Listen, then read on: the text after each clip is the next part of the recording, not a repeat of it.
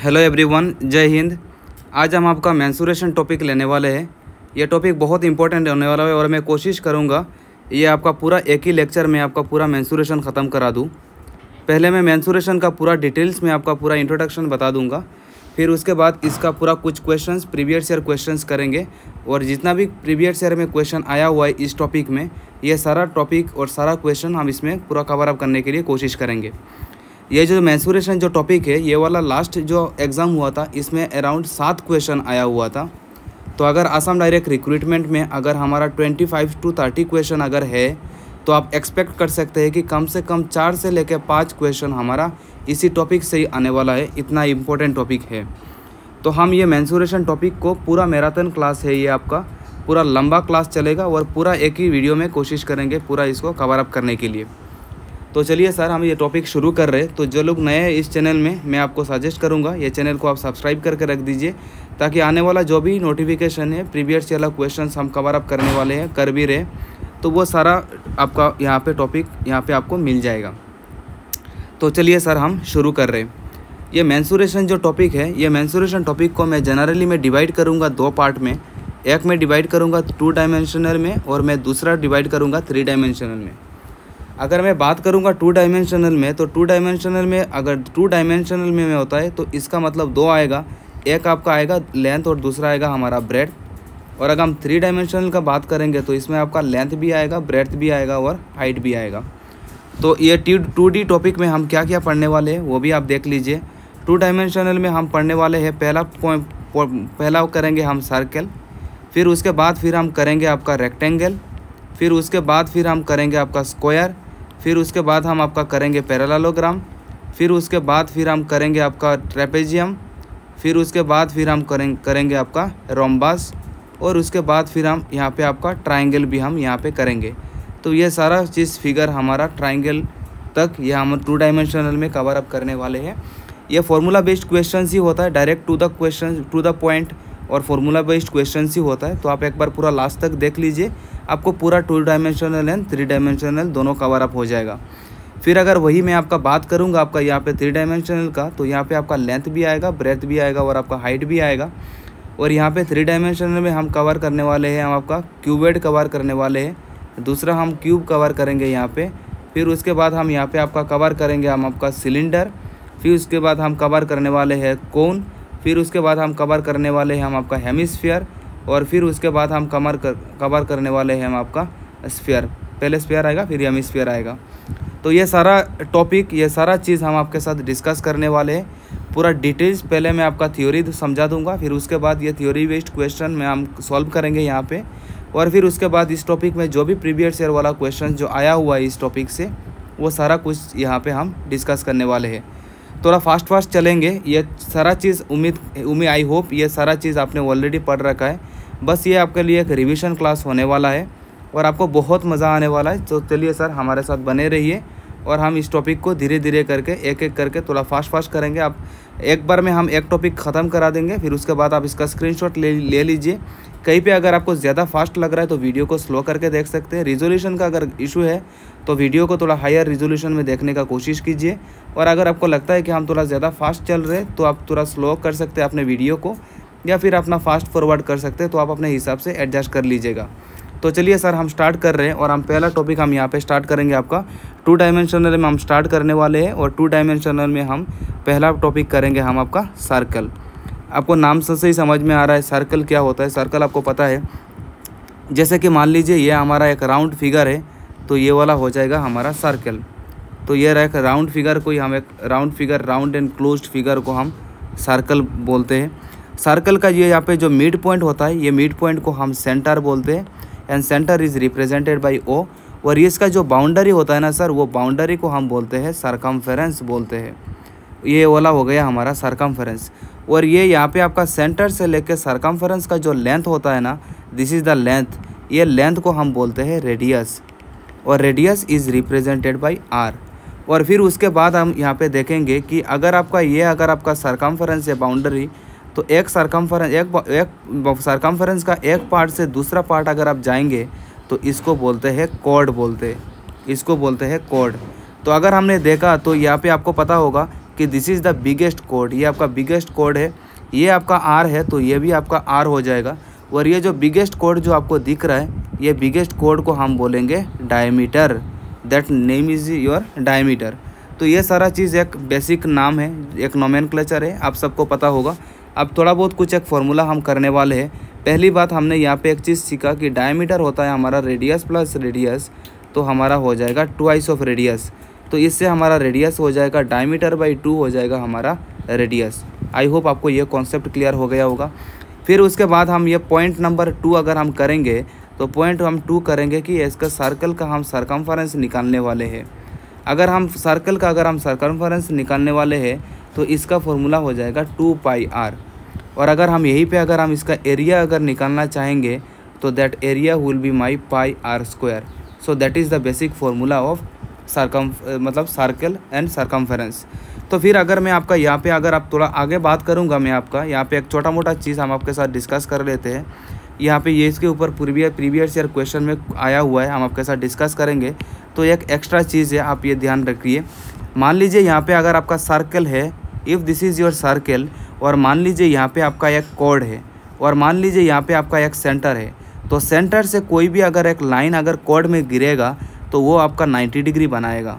मैंने रिपीट करना मैंने ये बोला, सेंटर से अगर एक लाइन, अगर यहाँ पे लाइन पे अगर आपका गिरा है तो ये लाइन आपका 90 डिग्री बनाएगा। पॉइंट नंबर वन, मान लीजिए ये ओ है, मान लीजिए ये बी है, और मान लीजिए ये मेरा, ये this the code name is my A B और मान लीजिए यहाँ पे मैंने कोई एक सी पॉइंट लिया है तो आपको ये चीज़ ये बोलता है कि O C will be perpendicular to O C that is my perpendicular इसको बोलते हैं perpendicular that is my perpendicular तो अगर हम बात करेंगे ओ सी तो O C is perpendicular to A B O C perpendicular to A B मतलब ये 90 डिग्री बना रहा है। अगर ये 90 डिग्री बना रहा है तो ये भी 90 डिग्री बनाएगा। और दूसरा प्रॉपर्टी हमारा ये है, ये यहाँ पे आपका सर 90 डिग्री में आके गिरेगा तो सही है, लेकिन ये जो लेंथ जो आप देख रहे हो ना सर यहाँ पे जो लेंथ आपको दिख रहा है, यहाँ पे जो लेंथ आपको दिख रहा है, यहाँ पे जो लेंथ आपको दिख रहा है, ये दोनों का लेंथ का भी हमारा लेंथ भी दोनों हमारा इक्वल होगा।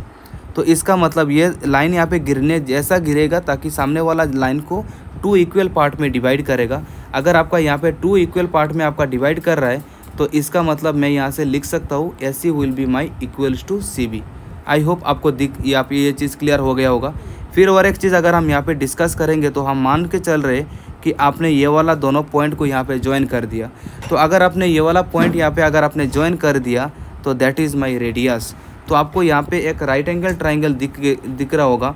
एक right angle triangle is my O C A या फिर ए सी ओ जो भी बोल लीजिए। मान लीजिए ये A C O is my is the right angle triangle right angle triangle का मतलब होता है, कोई भी एक एंगल हमारा कितना डिग्री का होगा सर हमारा 90 डिग्री का होगा। तो अगर यहाँ पे एक राइट एंगल ट्राइंगल अगर आपका बन रहा है तो यहाँ पे हम पाइथागोरस थ्योरम यूज़ कर सकते हैं। यहाँ पे हम इसका स्क्रीनशॉट ले लीजिए। तो अगर हम यहाँ पे, अगर हम पाइथागोरस थ्योरम यूज़ करेंगे तो फिर आप यहाँ से पाइथागोरस, ये इसमें अगर आप पाइथागोरस फार्मूला लगाएँगे तो क्या बनेगा देख लीजिए। अगर इस वाले में अगर हम पाइथागोरस लगाएँगे तो Pythagoras theorem by by using Pythagoras theorem ये प्रॉपर्टी है। बाई यूजिंग पाइथागोरस थ्योरम हम यहाँ से ये चीज़ बोल सकते हैं। Pythagoras theorem we can write हम पाइथागोरस थ्योरम यूज़ करके हम ये लिख सकते हैं कि 90 डिग्री का टिक ऑपोजिट साइड हमारा लॉन्गेस्ट साइड होता है तो longest side is my A O तो that is my A O square is equals to O C square plus क्या हो जाएगा? A C square I hope आपको क्लियर हो गया होगा. And O A O is nothing but my R then I can write R square equals to O C square plus A C square I hope आपको ये concept पूरा circle का पूरा concept clear हो गया होगा. हम वन टाइम पूरा सब टॉपिक पूरा सारा कॉन्सेप्ट हम आपको बता देते। फिर उसके बाद जहाँ पे भी क्वेश्चंस ये ख़त्म होने के बाद जहाँ पे भी लगेगा, हम आपके साथ पूरा चीज़ डिस्कस कर लेंगे। ठीक है सर? तो चलिए फिर नेक्स्ट हम आगे बढ़ेंगे। अब पहला टॉपिक हमारा ख़त्म हो गया यहीं पे, फिर हम आगे बढ़ेंगे। और दूसरा टॉपिक हम अगर यहाँ पे करेंगे तो दूसरा टॉपिक हम आपके साथ डिस्कस करेंगे, वो है हमारा ट्राइंगल तो सर आ जाइए ट्राइंगल में। ट्राइंगल आप सबको पता होगा, एक ट्राइंगल में हमारा तीन साइड होता है। एक तीन साइड होता है, ये this is my A B and C तो तीन साइड होता है और आपको पता है कि तीन एंगल भी होता है। तो इसका angle A plus angle B plus angle C और ये होगा हो गया, हो जाएगा हमारा 180 डिग्री पॉइंट नंबर वन फिर मान लीजिए मैंने इसको बोला कि ब्रे, इसको मैंने बोला बी और मैंने इसको बोला कि दिस इज़ माई हाइट तो अगर इसको हमने बोला तो पहला अगर आपका आएगा कि पेरीमीटर ऑफ़ ट्राइंगल पीटी मतलब पेरीमीटर ऑफ़ ट्राइंगल अगर पेरीमीटर ऑफ़ ट्राइंगल हम बोलेंगे तो इसका मतलब सब साइड का लेंथ हमें ऐड करना है। तो सब साइड का अगर लेंथ हमें ऐड करना है तो A B plus B C that will be equals to A C तो that is my perimeter of triangle और अगर वही हम, अगर आपका यहाँ पे, अगर हम, यहाँ पे आपका एरिया ऑफ़ ट्राइंगल अगर हमने हमने बात किया तो area of triangle is nothing but half into base into height I hope आपको ये चीज़ क्लियर हो गया होगा। और आपको ये चीज़ पता होगा। फिर अगर हम वही पे, अगर आपका ट्राइंगल का पार्ट में अगर हम आगे बढ़ेंगे तो मान लीजिए यहाँ पे ऐसा कोई एक ट्राइंगल हमने मान लिया, जिसका सब साइड हमारा इक्वल हो तो दूसरा इसी टाइप में और एक स्पेशल टाइप एक। काफ़ी सारा और भी टाइप है, लेकिन इसमें ज़्यादातर क्वेश्चन आता है। तो जिसमें क्वेश्चन आता है, उसी को हम ले रहे हैं। बाकी इतना डिटेल्स में जाने का ज़रूरत नहीं है अभी इस मोमेंट के लिए। तो इक्विलेटरल ट्राइंगल का मतलब होता है इक्वी मतलब होता है इक्वल और लेटरल मतलब होता है साइड तो ऐसा ट्राइंगल जिसमें सब साइड हमारा इक्वल हो, उसको हम बोलेंगे इक्विलेटरल ट्राइंगल तो इसमें आपका कॉन्सेप्ट ये बनता है कि A B length of A B is equals to B C and that length is again equals to A C तो अगर सब लेंथ अगर इक्वल है तो मैंने मान लिया, सब लेंथ का, सब साइड का लेंथ है हमारा ए यूनिट तो अगर सब साइड का लेंथ अगर ए यूनिट हो जाएगा तो इसका मतलब हम इस सब लेंथ को हम ए यूनिट ए यूनिट लिख सकते हैं. ऑब्वियसली सब साइड इक्वल है तो सब साइड इज़ माई ए तो इक्विलेटरल ट्राइंगल में हम, अगर हम वहीं पे अगर आपका पेरीमीटर निकालने चाहे, अगर आप निकालेंगे तो पेरीमीटर ऑफ़ इक्विलेटरल ट्राइंगल क्या हो जाएगा सर बोलिए? इक्विलेटरल ट्राइंगल मतलब A B plus B C A B length of A B plus length of B C plus length of A C तो ये वाला हो जाएगा हमारा ए प्लस ए प्लस ए तो perimeter of equilateral triangle sir हमारा हो जाएगा थ्री ए फिर वही अगर हमने यहाँ पे, अगर हमने आपका, फिर अगर हमने तीसरा पॉइंट अगर हम हम आ गए तो यहाँ पे फिर आ जाएगा कि हमारा एरिया अगर हम वही, अगर हम इसका एरिया का बात करेंगे तो आप डायरेक्ट इसका शॉर्ट ट्रिक ले लीजिए। Root three by two S square ये वाला ये वाला हमारा फॉर्मूला हो जाएगा। Root three by four S square ये थोड़ा करेक्ट कर लेते। हैं ये वाला हमारा हो जाएगा root three by four S square तो ये वाला आप इसका फॉर्मूला ज़रूर स्क्रीनशॉट रख के, लिख के रख लीजिए। इसके ऊपर आगे आप जब आगे बढ़ेंगे तो इसके ऊपर हम क्वेश्चंस करने वाले हैं। तो आई होप आपको स्क्रीनशॉट ले लिया होगा आपने। तो चलिए सर फिर हम नेक्स्ट आगे बढ़ेंगे। अगर हम वही, अगर हम अगला पॉइंट में हम आगे बढ़ेंगे तो तीसरा वाला पॉइंट हम आपके साथ डिस्कस करने वाले हैं, वो है हमारा क्वाड्रिलेटरल क्वाड्रिलेटरल का मतलब क्या होता है, वो भी देख लीजिए। क्वाड्रिलेटरल क्वाड्रिलेटरल क्या होता है? क्वाड्रिलेटरल क्वाड का मतलब होता है कि फोर क्वाड्रिलेटरल का मतलब होता है फोर और लेटरल का मतलब होता है साइड तो ऐसा फिगर जिसमें हमारा चार साइड हो उसको हम क्या बोलेंगे, सर? क्वाड्रिलेटरल एनी फिगर कोई भी एक रैंडम फिगर आप ड्रॉ कर लीजिए। कोई भी एक रैंडम फिगर आप ड्रॉ कर लीजिए। या कोई एक रैंडम फिगर हम ड्रॉ कर रहे हैं, जिसमें फिगर का आपका साइड में कितना है, हमारा चार साइड है। तो आई होप आपको यहाँ पे क्लियर हो गया होगा। अगर हम एक वही रैंडम फिगर का अगर हमने नाम लिया तो that is my A B C D तो अगर हम रैंडम फिगर का अगर हमने side A B C D लिया है तो क्वाड्रिलेटरल में क्या क्या आएगा? क्वाड्रिलेटर में आपका आपका रेक्टेंगल आएगा। आपका रोम्बस भी आएगा, आपका ट्रेपेजियम आएगा, आपका स्क्वायर आएगा, आपका रोम्बस आएगा। ये सारा फिगर आपका चार साइडेड फिगर होता है और ये चार साइड फिगर को हम क्या बोलेंगे? हम क्वाड्रिलेटरल बोलेंगे। आई होप ये क्वाड्रिलेटर का कॉन्सेप्ट आपको समझ में आ गया होगा। अगर हम वही, अगर हम इसको अगर बारे में बात करेंगे तो क्वाड्रिलेटर अगर हमारा चार साइड है तो इसका चार एंगल भी होता है। और ये चारों साइड का हमने ट्राइंगल में पढ़ा था कि तीनों साइड को हम ऐड करेंगे तो हमारा 180 डिग्री होगा। लेकिन अगर हमने यहाँ पे अगर चारों साइड को अगर हमने ऐड कर दिया, अगर चारों साइड को अगर अगर चारों एंगल को हमने ऐड कर दिया तो चारों एंगल को ऐड करने के बाद हमारा आएगा 360 टी 360 डिग्री उम्मीद है ये वाला कॉन्सेप्ट आपका क्लियर हो गया होगा। ये अभी हम उसके बारे में हम आगे बात करेंगे। जब हम बात करेंगे तो पेरीमीटर ऑफ़ क्वाड्रिलेटर क्वाड्रिलेटरल ऐसे ऐसे रिप्रेजेंट करते हैं क्वाड्रिलेटर रिप्रेजेंटेड बाई दिस तो अगर पेरीमीटर ऑफ़ क्वाड्रिलेटर अगर हमने बोला तो कुछ नहीं करना है तो वही अगर साइड का लेंथ दिया हुआ है तो ये साइड का लेंथ आप इसको एड अप कर देंगे तो आपको पेरीमीटर ऑफ़ मतलब पेरीमीटर ऑफ़ क्वाड्रिलेटर आपको मिल जाएगा। तो आई होप आपको ये कॉन्सेप्ट पूरा क्लियर हो गया होगा। फिर उसके, इसका स्क्रीनशॉट ले लीजिए, फिर इसके बाद हम नेक्स्ट आगे बढ़ेंगे। तो अगर हम वहीं पे अगर हम बात कर रहे हैं यहाँ पे तो अगर इस चीज़ को अगर हमने बात किया तो इस चीज़ को हम बात करेंगे तो दूसरा और एक मोस्ट इंपॉर्टेंट हो जाता है कि नेक्स्ट इज़ योर पोलीगॉन तो अगर हमने पोलीगॉन का, अगर हमने कॉन्सेप्ट आपको समझाया तो पोलीगन के ऊपर काफ़ी इंपॉर्टेंट क्वेश्चन बनता है, जो कि प्रीवियस ईयर क्वेश्चन में आया हुआ है। तो इसके बारे में अगर हमने थोड़ा बहुत अगर आपको बताया तो पोली का मतलब होता है मैनी दैट पोली इज़ मतलब होता है मैनी और गन का मतलब होता है कि हमारा साइड तो ऐसा फिगर जिसमें हमारा बहुत सारा साइड हो तो इसको हम पोलीगॉन बोलते हैं। पोलीगॉन मतलब कोई भी रैंडम मतलब रैंडम कितना भी साइड हो, इसको हम पोलीगॉन बोलेंगे। अब ये पॉलीगॉन के ऊपर कौन क्या क्वेश्चंस आता है, ये आप एक बार देख लीजिए। मान लीजिए कोई भी एक रैंडम फिगर मैंने आपको बताया, ऐसा कोई एक मैंने रैंडम फिगर मैंने आपके साथ डिस्कस किया।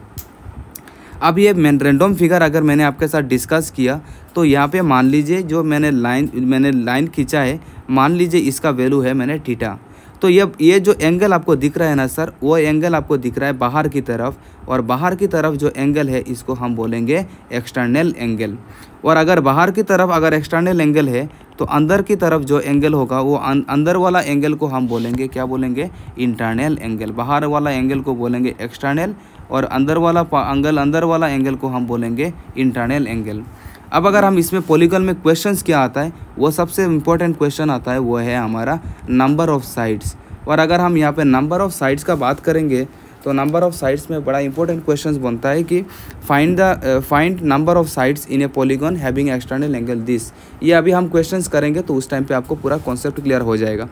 तो अगर हम नंबर ऑफ़ साइड के बारे में हम यहाँ पे बात करेंगे तो वहाँ पे एक शॉर्ट ट्रिक है। ये शॉर्ट ट्रिक से आप बहुत आसानी से ये क्वेश्चन सॉल्व कर सकते हैं। जैसे मैंने बोला कि सर आपको नाम ए, पहले शॉर्ट ट्रिक लिख लीजिए फिर इसके बारे में हम डिटेल डिस्कस करेंगे। मान लीजिए आपको नंबर ऑफ़ साइड आपको निकालना है। मान लीजिए number of side is my N तो ये नंबर ऑफ़ साइड निकालने का फॉर्मूला होता है हमारा 360 डिवाइडेड बाई टीटा अब ये एन क्या है सर एन है हमारा नंबर ऑफ़ साइड वो पॉलीगॉन का कितना साइड है, वो आपको निकालना है। 360 डिग्री आपको पता है and theta is nothing but my external angle external angle को हम किससे रिप्रेजेंट करेंगे? हम हम रिप्रेजेंट करेंगे हम आपका टीटा से।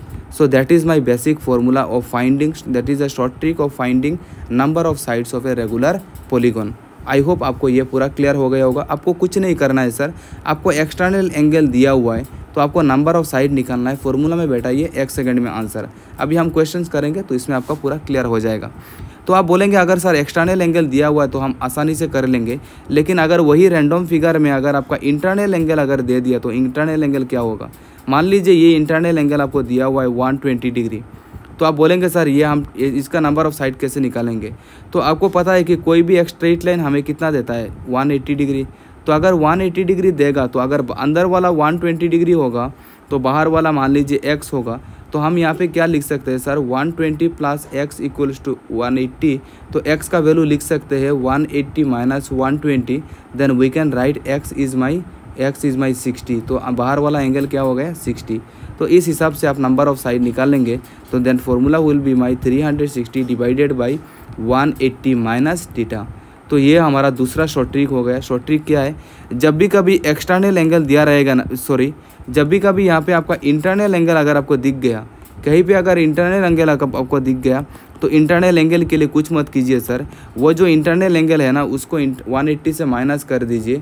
180 से अगर आप माइनस कर देंगे then you will get the external angle आप बोलेंगे, सर, हम 180 से क्यों माइनस कर रहे क्योंकि आपको पता है कि इंटरनल ये मान लीजिए इंटरनल एंगल और ये मान लीजिए एक्सटर्नल एंगल तो इंटरनल एंगल और एक्सटर्नल एंगल दोनों मिला के हमारा कितना डिग्री होगा? 180 डिग्री होगा। तो ऑब्वियसली अगर इंटरनल एंगल दिया हुआ है तो हम आसानी से हम क्या कर सकते हैं, सर? हम एक्सटर्नल एंगल निकाल सकते हैं। तो आई होप ये वाला कॉन्सेप्ट आपको पूरा क्लियर हो गया होगा। आप इसका स्क्रीनशॉट ले लीजिए, फिर आगे हम इसका क्वेश्चन आंसर सॉल्व करने वाले हैं। तो चलिए सर, फिर नेक्स्ट हम आगे बढ़ेंगे आपका अगला टॉपिक फिर अगर हम अगला टॉपिक के साथ अगर हम आगे बढ़ेंगे तो नेक्स्ट टॉपिक हम आपका करेंगे आपका रेक्टेंगल से हम नेक्स्ट टॉपिक आगे बढ़ेंगे. और that point number four point number four आप डाल दीजिए सर रेक्टेंगल रेक्टेंगल आप सबको पता होगा रेक्टेंगल का कॉन्सेप्ट क्या होता है? तो सर, मान लीजिए ये आपका रेक्टेंगल है. Let suppose this is my rectangle A B C D अब ये रेक्टेंगल बोलता क्या है? रेक्टेंगल ये चीज़ बोलता है कि सर ये जो अपोजिट साइड जो दिख रहा है ना सर आपको ये जो अपोजिट साइड आपको दिख रहा है, ये अपोजिट साइड आपका पैरालाल होता है। तो यहाँ पे आपका अपोजिट साइड हो जाएगा आपका पैरालाल तो ये हो गया पैरालाल हो गया तो A B will be parallel to C D अगर ये A B parallel to C D है, और दूसरा लाइन मान लीजिए कि यहाँ पे हमने बोला, यहाँ पे हमने बोला कि दूसरा वाला कंडीशन ये दोनों लाइन भी एक दूसरे के साथ पैरालाल है। इसका मतलब ये जो लाइन आपको दिख रहा है यहाँ पे, ये दोनों लाइन एक दूसरे के साथ पैरालाल है। तो इसका मतलब length of B C will be parallel to length of A D ठीक है सर? और इसमें आपका ये भी ध्यान रखना है कि ऑपोजिट साइड्स आर पैरेलल ये दोनों सर पैरेलल भी होता है और ये दोनों आपका आपस में इक्वल भी होता है. A B is equals to C D और दूसरा वाला अगर हमने बात किया यहाँ पे देन वी कैन राइट यहाँ पे B C is equals to A D I hope इसका बेसिक कॉन्सेप्ट आपको समझ में आ गया होगा. फिर उसके बाद सर हम नेक्स्ट आगे बढ़ेंगे. अगर फिर हम यहाँ पे, अगर हम आपका नेक्स्ट आगे बढ़ेंगे तो यहाँ पे आपका आ जाएगा, आपका यहाँ पे डायगनल अब यहाँ पे आएगा आपका कॉन्सेप्ट आपका आएगा डायगनल का। अगर हम यहाँ पे डायगनल का बात करेंगे तो मान लीजिए यहाँ पे एक फिगर यहाँ पे एक लाइन है और यहाँ पे दूसरा एक लाइन है। तो इसको, ये वाला जो लाइन आपको, आपका ग्रीन कलर जो लाइट दिख रहा है, आपको लाइन दिख रहा है that is called as diagonal अगर हमने यहाँ पे आपका बात कर रहे हैं, हम आपका डायगनल का तो डायगनल चीज़ ये भी हमारा डायगनल हो जाएगा और दूसरा वाला डॉटेड लाइन भी हमारा डायगनल हो जाएगा। तो मान लीजिए दोनों डायगनल एक दूसरे को मीट किया है कि ओ पे। अगर एक दूसरे को लाइन को अगर ओ मतलब ओ से मतलब वो किया है, अगर मीट कर किया है तो इसका ये चीज़ बोलता है कि इसका रेशियो और इसका रेशियो दोनों इक्वल हो जाएगा। मतलब ये वाला रेशियो उसके साथ और ये वाला रेशियो इसके साथ। मतलब ए ओ का एओ का रेशियो एओ का रेशियो ओ सी के साथ जो होगा and that will be my equals to D O के साथ हमारा ओ बी का जो लेंथ आएगा, वो भी हमारा क्या हो जाएगा सर? इक्वल हो जाएगा। आई होप ये रेक्टेंगल आपको थोड़ा बहुत क्लियर हो गया होगा।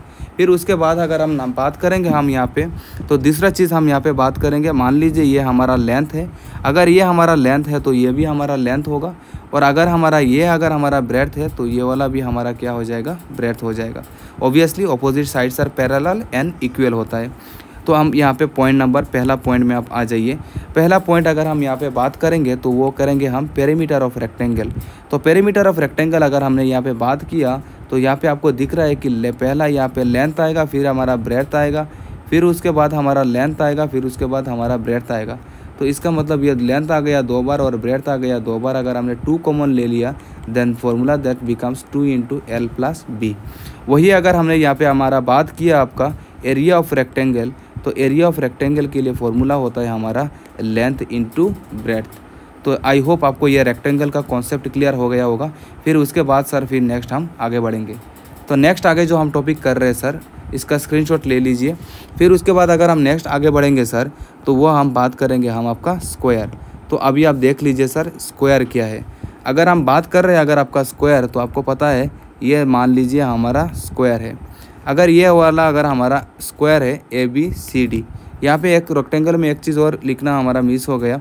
रेक्टेंगल में ये क्या होता है कि angle A angle A is equals to angle B is equals to angle C is equals to angle D ये सारा एंगल हमारा इक्वल होता है, वो सारा एंगल का वैल्यू कितना होता है? हमारा 90 डिग्री मतलब सब एंगल एक दूसरे के साथ कितना डिग्री एंगल बनाएगा सर 90 डिग्री 90 डिग्री और हमें पता है कि एक क्वाड्रिलेटरल 360 बनाता है तो 90 90 90 90 तो सब 90 डिग्री बनाए तो टोटल कितना हो जाएगा सर हमारा 360 तो आई होप ये वाला क्लियर हो गया होगा। फिर अभी जो हम आगे बढ़ेंगे, वो करेंगे हम यहाँ पे आपका स्क्वायर तो स्क्वायर का भी कॉन्सेप्ट वही है। पहले कि A B length of A B will be parallel to length of C D and again this length is also equal A B is equals to C D फिर उसके बाद अगर हम नेक्स्ट बात करेंगे तो B C will be parallel to A D और अगर हमारा बी सी ए डी के साथ पैरल हो रहा है तो इसका मतलब सी हमारा इक्वल भी होगा डी के साथ। और यहाँ पे और एक चीज़ आपको यहाँ पे क्लियर करना है कि अपोजिट साइड हमारा पैरेलल भी होगा और अपोजिट साइड हमारा इक्वल भी होगा। इसका मतलब हम ए बी हमारा length A B will be equals to B C and B C का length will be equals to C D and C D का length will be equals to A D इसका मतलब अपने हमें यहाँ पे एक चीज़ समझ में आया कि सर इसका सब लेंथ हमारा इक्वल होता है और सब लाइन को लेंथ जो इक्वल दिख रहा है आपको, इसको हमने नाम दे दिया ए तो अगर सब साइड अगर हमारा इक्वल है तो ये भी ए और ये भी ए और ये भी ए और ये भी है, सब ए ठीक है? आई होप आपको क्लियर हो गया होगा। और ऑब्वियसली अगर ये एक, यहाँ पे एक फिगर जो आपको दिख रहा है, यहाँ पे आपको सब पता चल गया होगा कि angle A is equals to angle B is equals to angle C is equals to angle D और ये सारा एंगल हमारा कितना डिग्री का होगा? 90 डिग्री का। आई होप आपको क्लियर हो गया होगा। फिर अभी अगर नेक्स्ट आगे बढ़ेंगे तो यहाँ पे आपको एक चीज़ यहाँ पे दिख दिख रहा होगा। हमने मान लिया कि हमारा यहाँ पे डायगनल भी है। तो सर, अभी आप आ जाइए डायगनल के कॉन्सेप्ट में।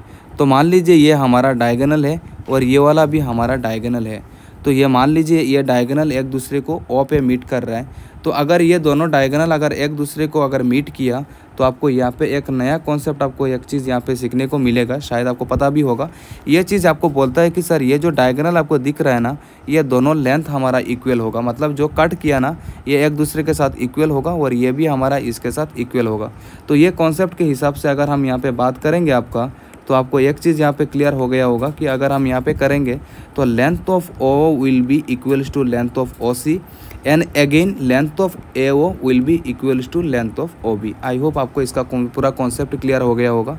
फिर अगर हम वही, अगर हम आगे बढ़ेंगे तो ओबियसली सब एंगल इक्वल होगा 90 डिग्री होगा सब साइड हमारा सब साइड हमारा लेंथ इक्वल है और सब लेंथ हमने ए ले लिया। और अगर हम वही, अगर इसका पेरीमीटर और अगर हम एरिया का बात करेंगे तो मान लीजिए पहला वाला पॉइंट हम ले रहे हैं पेरीमीटर ऑफ़ स्क्वायर और अगर हम पेरीमीटर ऑफ़ स्क्वायर अगर हम बात कर रहे हैं तो ओबियसली चार साइड है।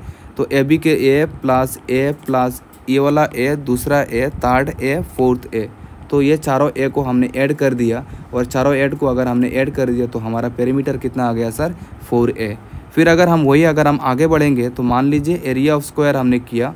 तो एरिया ऑफ़ स्क्वायर का फॉर्मूला होता है हम एरिया ऑफ़ रेक्टेंगल का फॉर्मूला होता है length into breadth length into breadth length है आपका ए और आपका ब्रेथ भी है आपका ए देन ए इंटू ए इसका मतलब आपका फॉर्मूला क्या बन गया? ए स्क्वायर तो that is the formula of A square of area of square is your A square अगर हम थोड़ा आगे, अगर आपके, अगर, आगे, अगर हम आपके साथ ये चीज़, अगर हमने आपके साथ डिस्कस किया तो आपको यह चीज़ यहाँ पे दिख रहा होगा कि आपने रेक्टेंगल थोड़ा देर पहले रेक्टेंगल पढ़ा था ए बी सी डी तो हमने एक चीज़ बेसिक सारा चीज़ कॉन्सेप्ट हमारा यहाँ पे क्लियर ही है। ये सारा angle 90 degree opposite side are equal and parallel and सारा सब कुछ। लेकिन अगर हम यहाँ पे बात करेंगे तो अभी यहाँ पे एक चीज़ हमने बताया था कि opposite sides are parallel equal लेकिन सब साइड हमारा इक्वल नहीं होता है। तो इस हिसाब से अगर हम बोल सकते हैं कि अगर हमारा यहाँ पे रेक्टेंगल है तो यहाँ पे सब रेक्टेंगल हमारा स्क्वायर होगा, लेकिन सब स्क्वायर हमारा क्या नहीं होगा? रेक्टेंगल नहीं होगा। क्योंकि सब स्क्वायर रेक्टेंगल सब रेक्टेंगल तो स्क्वायर है सब सब रेक्टेंगल हमारा सॉरी सब स्क्वायर हमारा रेक्टेंगल है, लेकिन सब स्क्वायर क्या नहीं, सब सब स्क्वायर क्या नहीं होगा? रेक्टेंगल नहीं होगा, क्योंकि स्क्वायर का सब साइड इक्वल होता है, लेकिन रेक्टेंगल का सब साइड हमारा इक्वल नहीं होता है। तो इसका मतलब यहाँ पे ये सारा चीज़ कॉन्सेप्ट आपका क्लियर हो गया होगा, आप इसका स्क्रीनशॉट ले लीजिए, फिर उसके बाद फिर हम नेक्स्ट आगे बढ़ेंगे। फिर अगर हम नेक्स्ट आगे टॉपिक में हम आगे आगे अभी अगर आगे बढ़ेंगे तो मान लीजिए सात नंबर टॉपिक वाला डाल दीजिए, और वो टॉपिक हम करने वाले हैं हम आपका पैरालोग्राम पैरालोग्राम का कॉन्सेप्ट भी वही है, और बहुत आसान है। ये चीज़ में कुछ इतना है का मतलब स्पेशल कुछ है नहीं, लेकिन फिर भी हम बताएँगे आपको। मान लीजिए यहाँ पे एक क्वाड्रिलेटर ले let suppose A B C D हमारे पास एक क्वाड्रिलेटर ले तो ये क्वाड्रिलेटर क्वाड्रिलेटर आपको एक चीज़ ये बोलेगा sir length of A B is parallel to length of C D और length of A B is parallel to C D होता है सर और ये दोनों हमारा इक्वल भी होता है। फिर अगर हम नेक्स्ट अगर वही आगे बढ़ेंगे तो ये चीज़ हम यहाँ पे लिख सकते हैं length of B C will be parallel to A D होगा। और अगर length of B C parallel to A D होगा तो इसका लेंथ भी सर हमारा इक्वल भी होता है। तो फिर इसके बाद फिर आगे कुछ इतना कुछ है नहीं फिर इसका पहला पॉइंट अगर हम बात करेंगे तो पेरीमीटर ऑफ़ अगर पेरीमीटर ऑफ़ पैरेलल अगर आपके अगर पूछा है तो अगर सब साइड दे दिया तो ओबियसली आप आराम से इसका पेरीमीटर ऑफ़ पैरेललोग्राम निकाल सकते हैं। तो पेरीमीटर ऑफ़ पैरेललोग्राम निकालने के लिए आप कुछ मत कीजिए, सर। सबका साइड ऐड कर दीजिए। A B plus B C plus C D plus A D सब साइड को आपने स्क्वायर कर दिया तो इससे हमारा पूरा पेरीमीटर का प्रैक्टेंगल हमारा आ गया। तो अगर हम वहीं पे अगर हम आपका इसका अगर हमने एरिया निकालना चाहा तो एरिया निकालने के लिए कुछ नहीं, कुछ मत कीजिए सर यह पैरालोग्राम का जो बेस होगा, मान लीजिए ये हमारा बेस है और मान लीजिए कि ये हमारा हाइट है। तो ये हाइट क्या है सर ये हाइट है हमारा distance between two parallel line तो आपका जो डिस्टेंस ये पैरेलल लाइन के बीच में जो डिस्टेंस दिख रहा है distance between two parallel lines दोनों लाइन दोनों पैरेलल लाइन के बीच में जो डिस्टेंस है, इसको हमने किस से रिप्रेजेंट किया? एच से रिप्रेजेंट किया। तो अगर वही अगर हमने अगर यहाँ पे एरिया ऑफ़ पैरेललोग्राम अगर हमने निकालना चाहा तो एरिया ऑफ़ पैरेललोग्राम आपका बड़ा आसान है ये आपका हो जाएगा बेज इनटू हाइट तो आई होप ये वाला पूरा कॉन्सेप्ट पैरालोग्राम का क्लियर हो गया होगा। अगर हम वही पे अगर हम यहाँ पे अगर आप बात करेंगे आपका रेक्टेंगल का तो अगर हम बात करेंगे आपका रेक्टेंगल का तो मान लीजिए ये हमारा रेक्टेंगल है। रेक्टेंगल है, मान लीजिए हमारा ए बी सी डी हमारा रेक्टेंगल है ए बी सी डी और मान लीजिए यहाँ पे हमने दूसरा वाला भी लिया है स्क्वायर तो पैरालेलोग्राम बस इतने पैरालेलोग्राम आपको ये चीज़ बोलेगा कि opposite sides are equal and parallel बस बात ख़त्म। बाकी उसको एंगल से कुछ मतलब है नहीं। तो अगर हम यहाँ पे स्क्वायर अगर हम ड्रॉ करेंगे तो दिस इज़ माई स्क्वायर तो ये वाला हो जाएगा हमारा ए बी सी डी तो ऑब्वियसली पैरालेलोग्राम का बस सिंपल सा कॉन्सेप्ट है ऑपोजिट साइड हमारा इक्वल और पैरेलल होना चाहिए। बाकी उसको एंगल से कोई मतलब नहीं है। तो रेक्टेंगल में आपको दिख गया कि यहाँ पे ऑपोजिट साइड हमारा पैरेलल भी है और इक्वल है। ऑपोजिट साइड इक्वल भी है पैरेलल है। इसका मतलब हम ये बोल सकते हैं कि सब रेक्टेंगल आपका, सब रेक्टेंगल आपका क्या हो जाएगा? सब रेक्टेंगल सर आप, सब रेक्टेंगल हो जाएगा आपका स्क्वायर लेकिन सब सॉरी सब रेक्टेंगल हो जाएगा आपका पैरालेलोग्राम लेकिन सब पैरालेलोग्राम क्या नहीं होगा? रेक्टेंगल नहीं होगा। वही अगर हम, अगर आप आ गए अगर आप स्क्वायर पे तो स्क्वायर का अपोजिट साइड पैरेलल भी होता है और इक्वल भी होता है और सब पैरेलल भी होता है इक्वल भी होता है। तो इसका मतलब हम ये बोल सकते हैं कि स्क्वायर का सब स्क्वायर हमारा पैरालेलोग्राम होगा, लेकिन सब पैरालेलोग्राम हमारा क्या नहीं होगा स्क्वायर नहीं होगा। तो आई होप ये वाला पूरा कॉन्सेप्ट आपको क्लियर हो गया होगा। फिर उसके बाद सर हम नेक्स्ट आगे बढ़ेंगे। आप इसका स्क्रीनशॉट ले लीजिए, फिर उसके बाद फिर नेक्स्ट हम आगे बढ़ेंगे अगला टॉपिक के साथ। अगर हम वही हम आगे बढ़ेंगे तो मान ये पॉइंट नंबर एट आप यहाँ पे नोट कर लीजिए। अगर हम यहाँ पे पॉइंट नंबर एट अगर हम नोट करेंगे तो नेक्स्ट टॉपिक हम आपके साथ डिस्कस करने वाले हैं। वो हम डिस्कस करने वाले हैं आपका ट्रेपेजियम ट्रेपेजियम का कॉन्सेप्ट क्या है सर वो देख लीजिए। मान लीजिए यहाँ पे कोई एक फिगर है। Let suppose A B C D is my figure तो अगर आपका यहाँ पे ए बी सी डी अगर फिगर है तो ट्रेपेजियम बस ये चीज़ बोलता है कि मान लीजिए ये चीज़ आपका जो ट्रेपेजियम है ट्रेपेजियम का सिंपल सा कॉन्सेप्ट है कि कोई भी एक पेयर, एक एक पेयर आपका मतलब पैरेलल होना चाहिए, बस बात ख़त्म। तो यहाँ पे हमें एक पेयर मिल गया कि A B is parallel to C D तो अगर आपका यहाँ पे ए बी पैरेलल है सी डी के साथ तो यहाँ पे कॉन्सेप्ट हमारा यहीं पे ख़त्म हो जाता है कि ए बी हमारा सी डी के साथ पैरेलल है। दो पैरेलल लाइन मिल गया मतलब हमें ट्रेपेजियम मिल गया। बाकी हमारा साइड इक्वल हो रहा है कि नहीं, उससे कोई मतलब नहीं है। बाकी हमारा एंगल इक्वल है कि नहीं, उससे मुझे कोई मतलब नहीं है। क्या हमारा दोनों सब एंगल हमारा 90 डिग्री हो रहा है डायगोनल क्या हो रहा है, मुझे उससे कोई मतलब नहीं है। तो ट्रेपेजियम का बेसिक कॉन्सेप्ट है अपोजिट साइड पैरेलल है तो वो ट्रेपेजियम हो जाएगा। तो इस हिसाब से अगर हम बात करेंगे तो हमारा पैरालोग्राम भी ट्रेपेजियम हो गया, हमारा रेक्टेंगल भी, हमारा ये हो गया रेक्टेंगल तो रेक्टेंगल भी ट्रेपेजियम है। ये पैरालोग्राम है पैरालोग्राम भी, हमारा ट्रेपेजियम है, और ये अगर आपको स्क्वायर दिख रहा है तो स्क्वायर भी हमारा क्या हो गया, एक ट्रेपेजियम ही हो गया ओबियसली क्योंकि उसमें एक पेयर आपका एक पेयर आपका क्या हो गया आपका? एक पेयर आपका, ये हमारा पैरल पैरल, एक पेयर हमारा पैरल है। तो अगर हम यहाँ पे आपका बात करेंगे तो मान लीजिए इसका, ये पैरल लाइन का लेंथ है एल वन और मान लीजिए ये पैरल लाइन का लेंथ है एल टू और मान लीजिए इसका जो distance between two parallel line H का मतलब होता है distance between two parallel line तो H is nothing but distance between two parallel line अगर दोनों पैरल लाइन के बीच में अगर हमारा एच है तो इसका मतलब हम इसका एरिया ऑफ़ ट्रेपेजियम का एक मास्टर फॉर्मूला है, इसमें एक क्वेश्चन आता ही आता है तो इसका फॉर्मूला होता है हाफ़ ऑफ़ दोनों साइड को आप ऐड कर दीजिए, दोनों साइड को अगर आप ऐड करेंगे तो that is my L one plus L two अगर अगर वही हमने बीच में हमारा एच है तो इसका फॉर्मूला हो जाएगा sir half of L one plus L two आप इसका इसका स्क्रीनशॉट लिख के रख दीजिए और फिर अब नेक्स्ट हम आगे बढ़ेंगे. तो टू हमारा ख़त्म होने का कगार पे है तो चलिए सर हम नेक्स्ट आगे बढ़ेंगे। अगर आज का ये हमारा मतलब ये हमारा टू डायमेंशनल का हम लास्ट टॉपिक करने वाले हैं, और ये लास्ट टॉपिक जो हम करेंगे आपके साथ, वो पॉइंट करेंगे हम पॉइंट नंबर एट और पॉइंट नंबर एट जो हम डिस्कस करने वाले हैं आपके साथ, वो हम डिस्कस करेंगे आपके साथ रोमबास और ये टू डायमेंशनल फिगर में सबसे इम्पोर्टेंट टॉपिक है हमारा रोम्बास रोम्बास के ऊपर एक क्वेश्चन आता है hundred and one percent sure बाकी रोम्बास क्या है, देख लीजिए। मान लीजिए ये रोम्बास है आपका, ये रोम्बास है हमारा ए बी सी डी एक रोम्बास है। अगर ये रोम्बास हमारा ए बी सी डी एक रोम्बास है तो इसका लाइन जो A B is parallel to C D होता है। A B parallel C D होता है opposite side opposite sides are parallel ये जो अपोजिट साइड आपको दिख रहा है सर ये अपोजिट साइड हमारा क्या हो गया, हमारा पैरेलल हो गया। अगर ये अपोजिट साइड हमारा, ये अपोजिट साइड आपको जो दिख रहा है ये अपोजिट साइड जो दिख रहा है आपको, देख लीजिए सर, ये जो अपोजिट साइड आपको दिख रहा है, ये अपोजिट साइड ए बी ये अपोजिट साइड जो दिख रहा है ए बी और सी डी ये दोनों हमारा पैरेलल भी है और ये जो ये जो आप अपोजिट साइड जो आप देख रहे हो, ये जो अपोजिट दोनों साइड दिख रहे हो, इसका हम बात कर रहे हैं। तो A B parallel to C D और इसमें आपका ए बी इक्वल भी होता है हमारा सी डी के साथ। फिर दूसरा अगर हम यहाँ पे बात करेंगे तो यहाँ पे हमारा बात होगा कि B C is parallel to A D B C एक ए डी के साथ पैरेलल है और ये बी सी हमारा इक्वल भी हमारा ए डी से। वही अगर यहाँ पे हम आगे ये चीज़ नोटिस करना है कि यहाँ पे सब साइड का लेंथ भी हमारा क्या होता है? इक्वल होता है। इसमें सब लाइन का लेंथ भी हमारा इक्वल होता है। और मैंने मान लिया सब साइड अगर इक्वल है तो मान लिया सब लाइन का लेंथ है हमारा ए तो इस हिसाब से अगर मैं बात करूँगा तो ये वाला हो जाएगा ए ये वाला हो जाएगा ए और ये वाला भी हमारा हो जाएगा ए और ये वाला हो जाएगा हमारा ए। फिर आगे हम अगर यहाँ पे बात करेंगे, हम आपका यहाँ पे पेरीमीटर का तो पेरीमीटर ऑफ़ रोम्बास हो जाएगा। सब लाइन लेंथ को आप ऐड कर दीजिए। A plus A plus A plus A तो सबको अगर हमने बात किया तो that becomes my four A तो ये हो गया सर हमारा पेरीमीटर ऑफ़ रेक्टेंगल लेकिन वहीं पे अगर हम यहाँ पे आ गए, हम आपका, अगर हमने आपका बात किया यहाँ पे, आपका आपका डायगनल का तो मान लीजिए ये हमारे पास दो डायगनल है।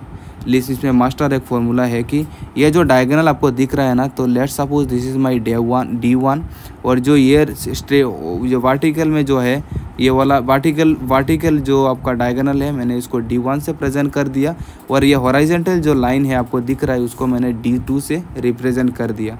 तो diagonal D one and D two are the diagonals of rhombus ठीक है सर अगर यहाँ पे ये कॉन्सेप्ट आपको ये ध्यान में रखना होगा यहाँ पे जो कॉन्सेप्ट आपको दिख रहा है कॉन्सेप्ट क्या बोलता है आपका, ये जो दोनों लाइन है ना, ये दोनों लाइन एक दूसरे के साथ इक्वल होगा, ये एक दूसरे के साथ इक्वल होगा। इसका मतलब length of D O will be equals to O B and again length of A O will be equals to O C ये दोनों एक दूसरे के साथ इक्वल होगा और इसका मतलब यहाँ, और यहाँ पे एक दूसरे के साथ वो 90 डिग्री भी बनाएगा।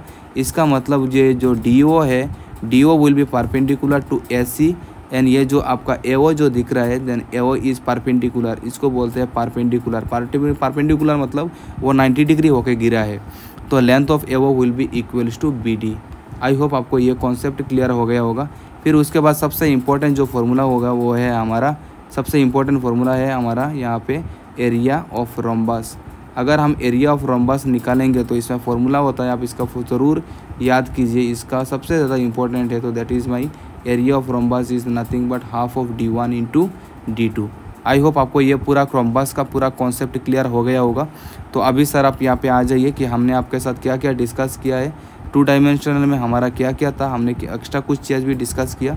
हमारा सर्कल हो गया रेक्टेंगल हो गया स्क्वायर हो गया पैरालोग्राम हो गया ट्रेपेजियम हो गया रोम्बास हो गया ट्राइंगल भी हो गया। और हमने एक्स्ट्रा हमने यहाँ पे क्वाड्रिलेटरल क्या होता है इसका भी हमने पढ़ा। इसका मतलब यहाँ पे उसके बाद फिर हमने ये भी पढ़ा कि पोलिनोमी पॉलीगॉन क्या होता है? इसका नंबर ऑफ़ साइड वगैरह कैसे निकालते? ये सारा चीज़ हमने यहाँ पे आपके साथ डिस्कस किया।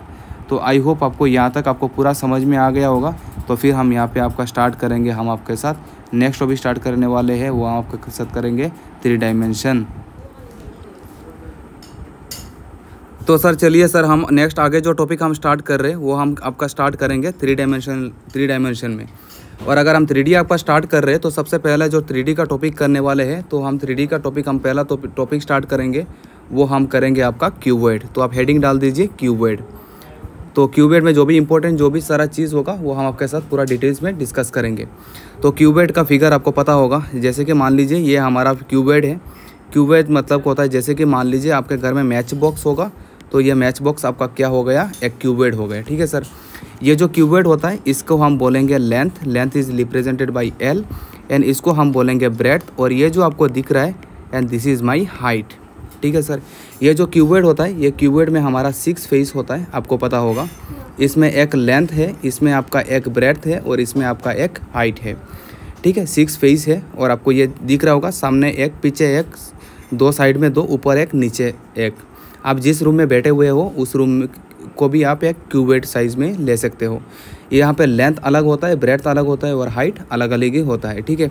तो इसमें आप फॉर्मूला में आ जाइए। फॉर्मूला का अगर हम बात करेंगे तो डायरेक्ट टू द पॉइंट हम बात करेंगे। यहाँ पे डिटेल्स डिराइव नहीं करने वाले हैं फॉर्मूला क्योंकि डिराइवेशन हमारे लिए ज़रूरी नहीं है। हमें फॉर्मूला ही हमारे लिए काफ़ी है। तो चलिए सर हम स्टार्ट कर रहे हैं पहला पॉइंट और यहाँ पर हम करेंगे आपका काफ्ड सरफेस एरिया तो अगर हम इसका काफ्ड सरफेस एरिया अगर निकालना चाहेंगे, और कार्ड सरफेस एरिया को हम सी एस ए भी बोलते हैं तो उसके अभी हम फिर ये फुल फॉर्म नहीं लिखने वाले हैं। आपको याद हो जाना चाहिए सी एस ए का मतलब होता है curved surface area S A मतलब होता है सरफेस एरिया और सी होता है हमारा curved surface area curved surface area का दूसरा नाम भी होता है हमारा लेटरल सरफेस एरिया तो अभी नेक्स्ट जो हम आगे बढ़ेंगे, हम इसको डायरेक्टली एल एस ए और एस एल या फिर सी एस ए लिखेंगे।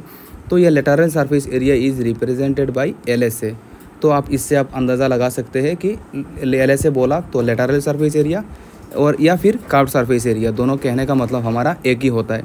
तो इसका फॉर्मूला होता है sir two into l plus b into h this is the formula of letter C S A और एल एस ए फिर उसके बाद सर हम नेक्स्ट आगे बढ़ेंगे।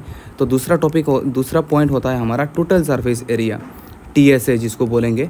तो टी एस ए के लिए फॉर्मूला होता है हमारा two into L B B H plus H L ठीक है सर तो इसका फॉर्मूला याद करके रख लीजिए, क्योंकि फॉर्मूला के बिना मैंसूरेशन नहीं होगा तो आप फॉर्मूला ज़रूर याद कर लेंगे सर फिर आगे हम नेक्स्ट आगे बढ़ेंगे, तीसरा पॉइंट और तीसरा पॉइंट जो होगा, वो हमारा वॉल्यूम होगा वॉल्यूम ऑफ़ क्यूबेड होगा, और इसका वॉल्यूम होता है हमारा length into breadth into height तो इसका फॉर्मूला आप ज़रूर याद करके रखेंगे, क्योंकि ये वाला फॉर्मूला बेस्ड क्वेश्चन आता है, और फॉर्मूला के बिना आप क्वेश्चन नहीं कर सकते, ठीक है सर तो चलिए फिर हम नेक्स्ट आगे बढ़ेंगे आपका। स्क्रीनशॉट ले लीजिए।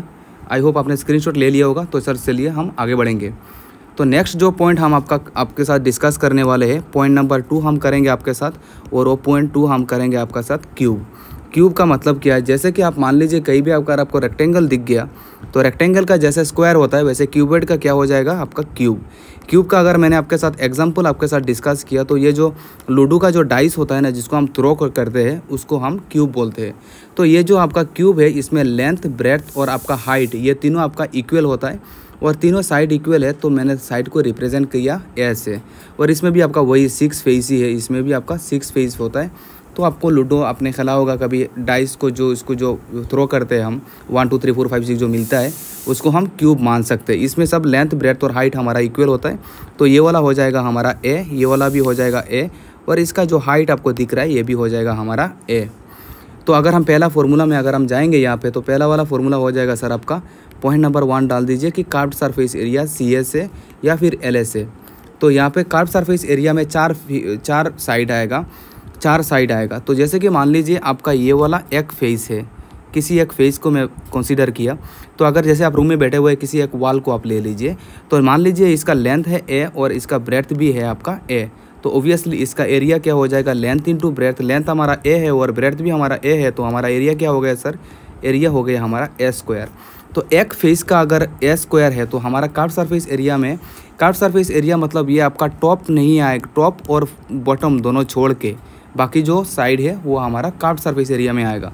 तो ऐसे ऊपर और आपका सीलिंग और आपका फ्लोर छोड़ के बाकी जो चार वॉल है that is my curved surface area और फिर लेटरल सरफेस एरिया तो चार एक फेस के लिए अगर एस स्क्वायर तो चार फेस के लिए क्या होगा? फोर एस स्क्वायर तो इसका मतलब ये हमारा कार्ड सरफेस एरिया हो जाएगा फोर एस स्क्वायर फिर दूसरा पॉइंट में सर आप आ जाइए।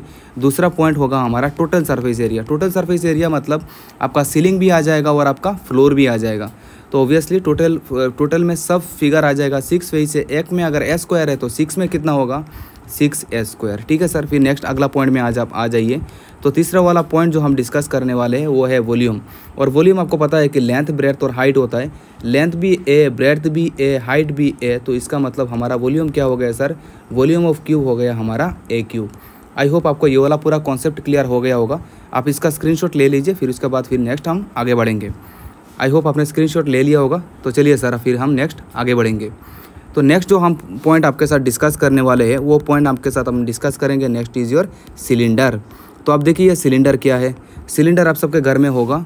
तो सिलेंडर आपने देखा होगा, ऐसा फिगर होता है आपका सिलेंडर का। दिस इज़ माई सिलेंडर ये इसको बोलते हैं टॉप और इसको बोलते हैं बॉटम आपको पता होगा। और ये जो आपको बॉटम और टॉप दिख रहा होगा, ये वाला है आपका सर्कुलर तो मान लीजिए यहाँ पे एक सेंटर है और सेंटर से यहाँ पे बाउंड्री तक जाएगा तो इसको हम रेडियस बोलेंगे. बेज रेडियस बोलते हैं इसको. रेडियस भी बोलते हैं या फिर बेज रेडियस भी बोलते हैं. और ये भी हमारा, अगर ये नीचे वाला, अगर हमारा आर है तो ऊपर वाला भी हमारा क्या होगा सर ऊपर वाला भी हमारा आर ही होगा. और ये ऊपर वाला पॉइंट से लेके नीचे वाला जो पॉइंट हो ना, इसको हम रिप्रेजेंट करते हैं एच से. और एच इज़ नथिंग बट इसको बोलेंगे हाइट ऑफ़ सिलेंडर इसको हम बोलेंगे सर हाइट ऑफ़ सिलेंडर तो इसमें कुछ फॉर्मूला होता है फॉर्मूला देख लीजिए। पहला फॉर्मूला कार्ड सरफेस एरिया या फिर LSA तो इसका फॉर्मूला होता है आपका two pi R H curved surface area मतलब सिलेंडर का वो पार्ट जिसमें आप टच कर सकते हो मतलब इसका बाउंड्री तो ये जो बाउंड्री जो आपको दिख रहा होगा, जिसमें आप टच कर सकते हो, जैसे कि एक बोतल ले लीजिए तो बोतल का जो सरफेस में हम टच कर सकते हैं that is my curved surface area वो बोतल का आपका ऊपर वाला पार्ट और नीचे वाला पार्ट आपका नहीं आएगा। तो that is my curved surface area और दूसरा वाला पॉइंट जो हम करेंगे, वो होगा आपका total surface area total surface area बोले तो curved surface area, curved surface area आएगा प्लस ऊपर में भी पार्ट जो है वो भी आएगा और नीचे वाला पार्ट जो है वो भी आएगा। ऊपर वाला पार्ट आपको दिख रहा है सर्कुलर तो ऊपर वाला पार्ट अगर आपका सर्कुलर है तो सर्कुलर पार्ट का एरिया हो जाएगा पाई आर स्क्वायर हमने किया है।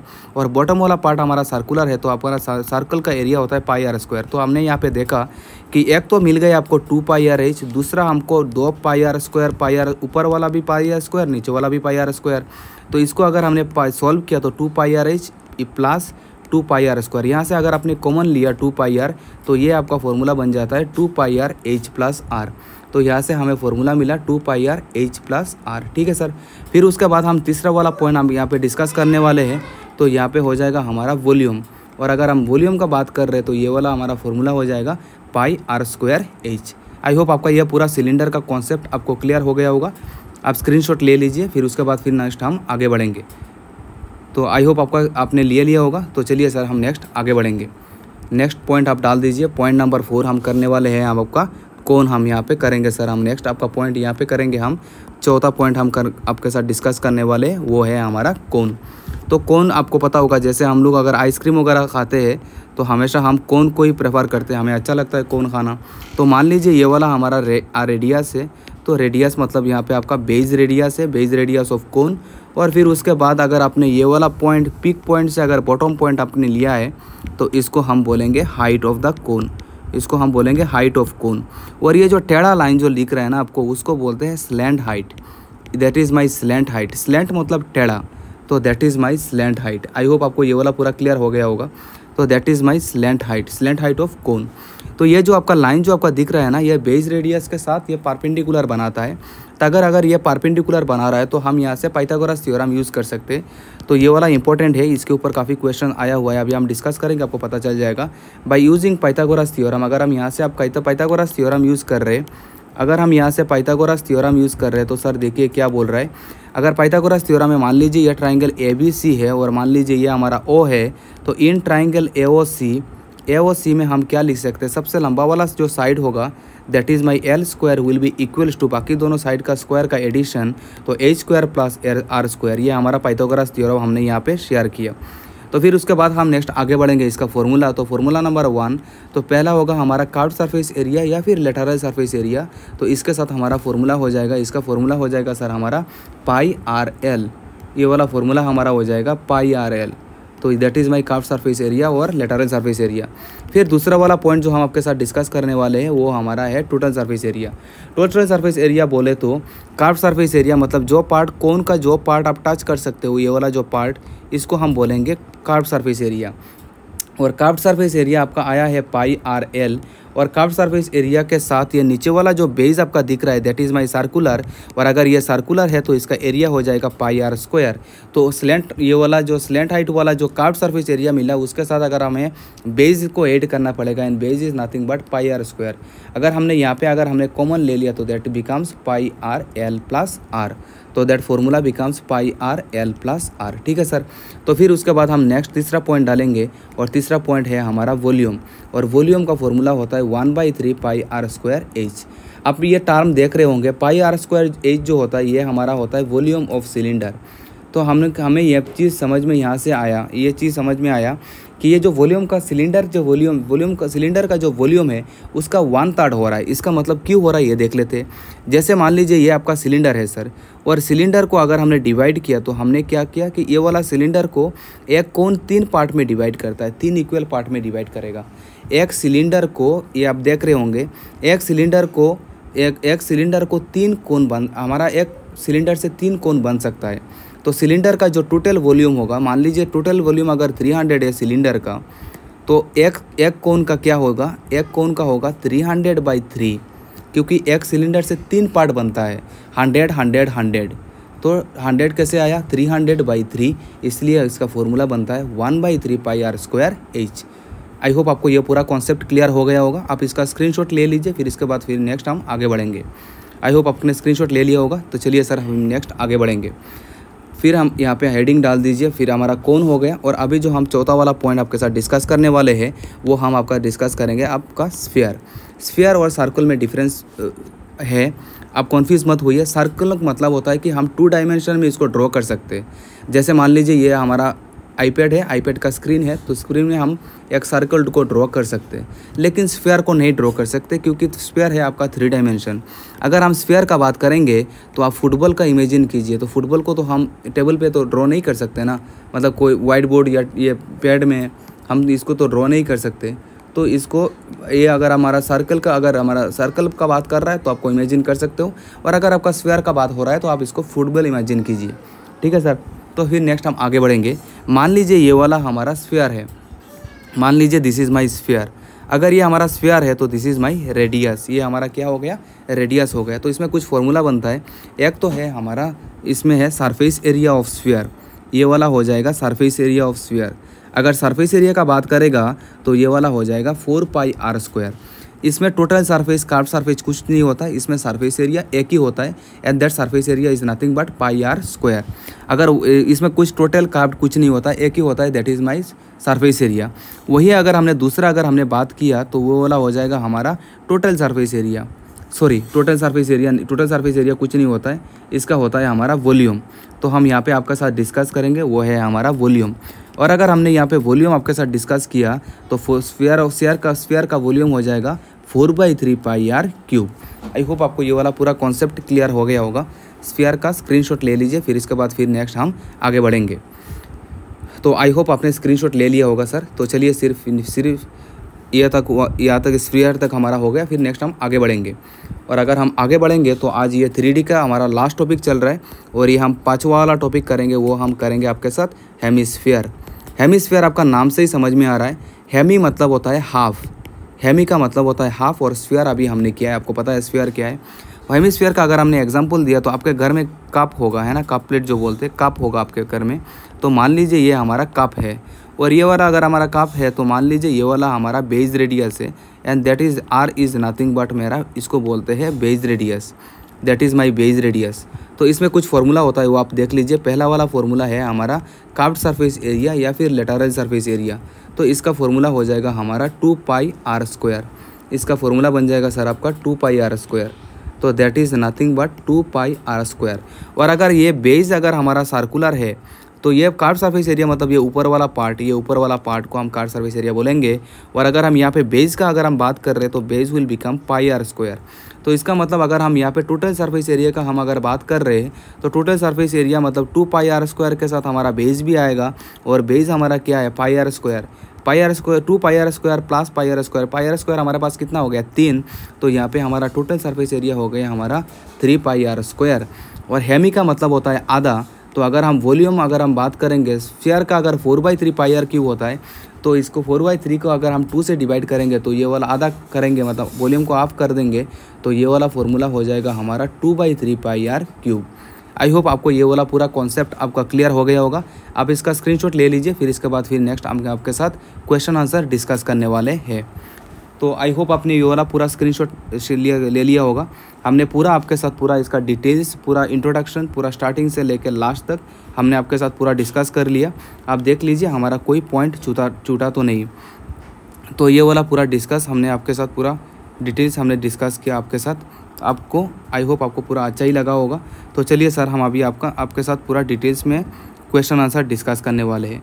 तो इसी के साथ हमारा पूरा टू डायमेंशनल और थ्री डायमेंशनल पूरा ख़त्म हो जाता है। आप एक बार देख लीजिए, यहाँ पे क्या क्या हमारा आ गया। यहाँ पे हमने क्यूबेड भी कवर किया क्यूब की क्यूब भी किया सिलेंडर कोन हेमिस्फीयर स्फीयर वो सारा चीज़ हमने यहाँ पे कवर अप कर लिया। यहाँ पे हमारा कोई चीज़ छोटा नहीं है। तो यहाँ पे अभी तक हमने कितना टॉपिक कवर किया? One two three four five six seven eight nine ten ten eleven twelve thirteen fourteen fifteen तो इन टू डायमेंशन और थ्री डायमेंशन मिला के हमने हमने ऑल टोटल हमने कितना कवर अप किया? हमने टोटल फिफ्टीन कवर अप कर लिया। तो इसी के साथ आपका पूरा बेसिक इंट्रोडक्शन पूरा थियोरी फॉर्मूला सारा कुछ यहीं पे ख़त्म हो जाता है। तो चलिए सर अभी हम प्रैक्टिस क्वेश्चंस पे आ जाते हैं। अगर हम प्रैक्टिस क्वेश्चंस का बात कर रहे हैं हम आपके साथ तो यहाँ पे प्रैक्टिस क्वेश्चन आपके लिए बड़ा इंपॉर्टेंट हो जाता है, क्योंकि प्रैक्टिस अगर नहीं करेंगे तो फॉर्मूला याद नहीं होगा। ये जितना भी सारा क्वेश्चन आप देख रहे होंगे, ये हमने पहले ईजी क्वेश्चन हमने आपके साथ लिया है। उसके बाद फिर हम थोड़ा लेवल अप करेंगे, फिर उसके बाद हम, ये वाला भी प्रीवियस ईयर क्वेश्चन है जो हमने चंद्र प्रकाश और ये आपका आसाम टेट का प्रीवियस ईयर क्वेश्चन से हमने ले रखा है। तो अगर हम यहाँ पे आपका बात कर रहे हैं, हम पहला क्वेश्चन का तो पहला क्वेश्चन देख लीजिए यहाँ पे पहला क्वेश्चन क्या बोल रहा है आपका? तो देख लीजिए, पहला क्वेश्चन आपका क्या बोल रहा है। तो अगर हम पहला क्वेश्चन का अगर हम यहाँ पे बात कर रहे हैं तो यहाँ पे क्वेश्चन क्या बोल रहा है? If the measure of the each angles of a triangle are in the ratio two is to three is to four तो यहाँ पे तीन ट्राइंगल का तीन तीन एंगल है ए बी सी और ए बी सी रेशियो कितना है? हमारा two is to three is to four और हमने आपको बोला था कि जहाँ जहाँ पे भी आपको रेशियो दिख गया तो रेशियो हटाने के लिए सर आप कुछ मत कीजिए, साथ में एक्स लगा दीजिए। आपका रेशियो हट जाएगा then that becomes twice x that becomes three x और दैट बिकम फोर एक्स ये सर आप बोलेंगे सर ये एक्स कहाँ से आया? सर एक्स हमने ये रेशियो को हटाने के लिए ये रेशियो को हटाने के लिए नंबर के साथ क्या लेके आ गया? थ्री एक्स लेके आ गया। और सर आपको क्या पता है कि आपको पता है कि तीनों एंगल को अगर हम ऐड करेंगे angle A plus angle B plus angle C को अगर तीनों को एंगल को अगर हम ऐड करेंगे तो हमें 180 मिलेगा।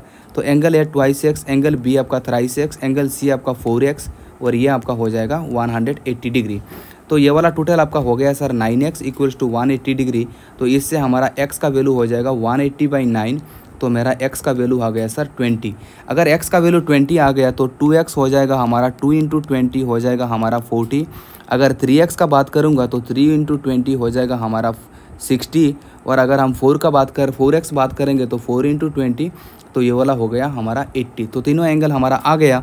और अभी क्वेश्चन में क्या बोला? फाइंड द बिगेस्ट एंगल सबसे बड़ा वाला एंगल क्या है? हमारा 80 तो सर, आपका आंसर हो जाएगा 80 आई होप आपको ये वाला पूरा कॉन्सेप्ट क्लियर हो गया होगा। आप इसका स्क्रीनशॉट ले लीजिए, फिर सर हम आगे बढ़ेंगे। फिर क्वेश्चन नंबर टू में आ जाइए, सर। क्वेश्चन नंबर टू में क्या बोल रहा है? ए रोम्बास कैन बी एक रोम्बास क्या हो सकता है, सर? आपको पता है, हमने आपके साथ डिस्कस किया।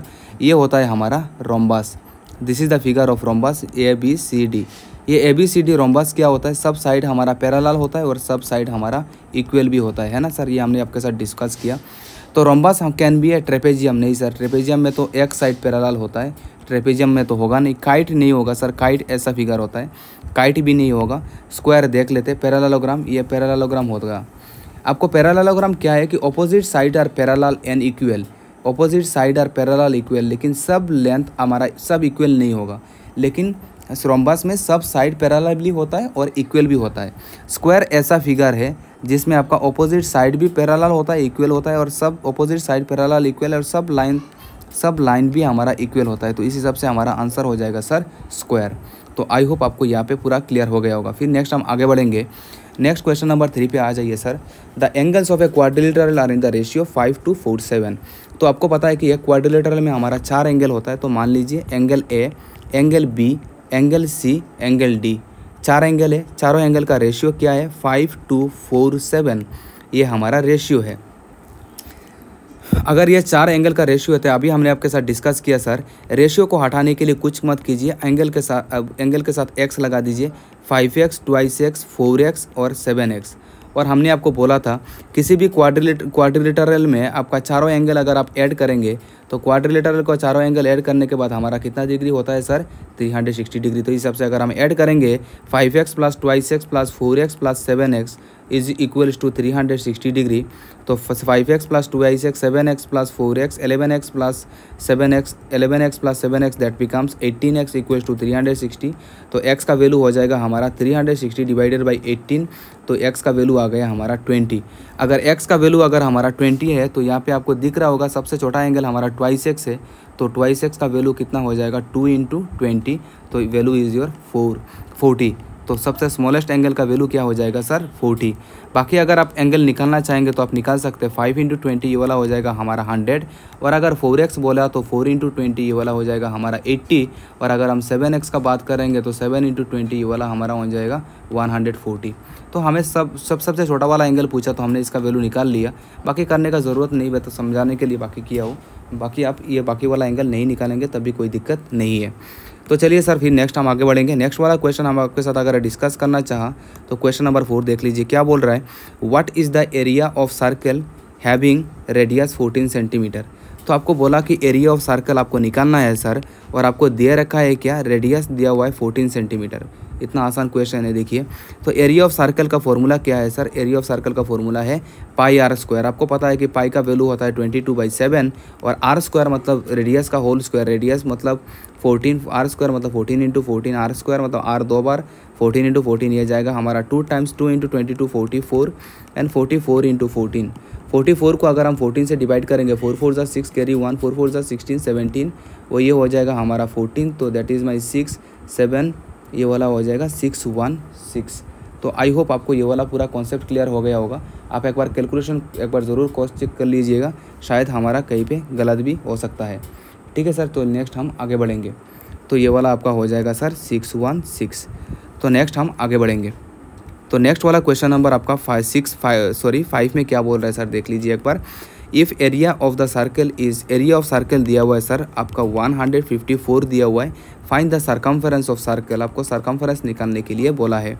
और एरिया ऑफ़ सर्कल अगर हमने फॉर्मूला यूज़ किया तो that formula is pi r square is equals to 154 pi का वैल्यू होता है ट्वेंटी टू बाई सेवन और आर का वैल्यू पता नहीं है, हमें निकालना है is equals to one fifty four अगर आप यहाँ पे क्रॉस मल्टीप्लाई करेंगे तो सेवन जाएगा आपका ऊपर और ट्वेंटी टू जाएगा आपका नीचे.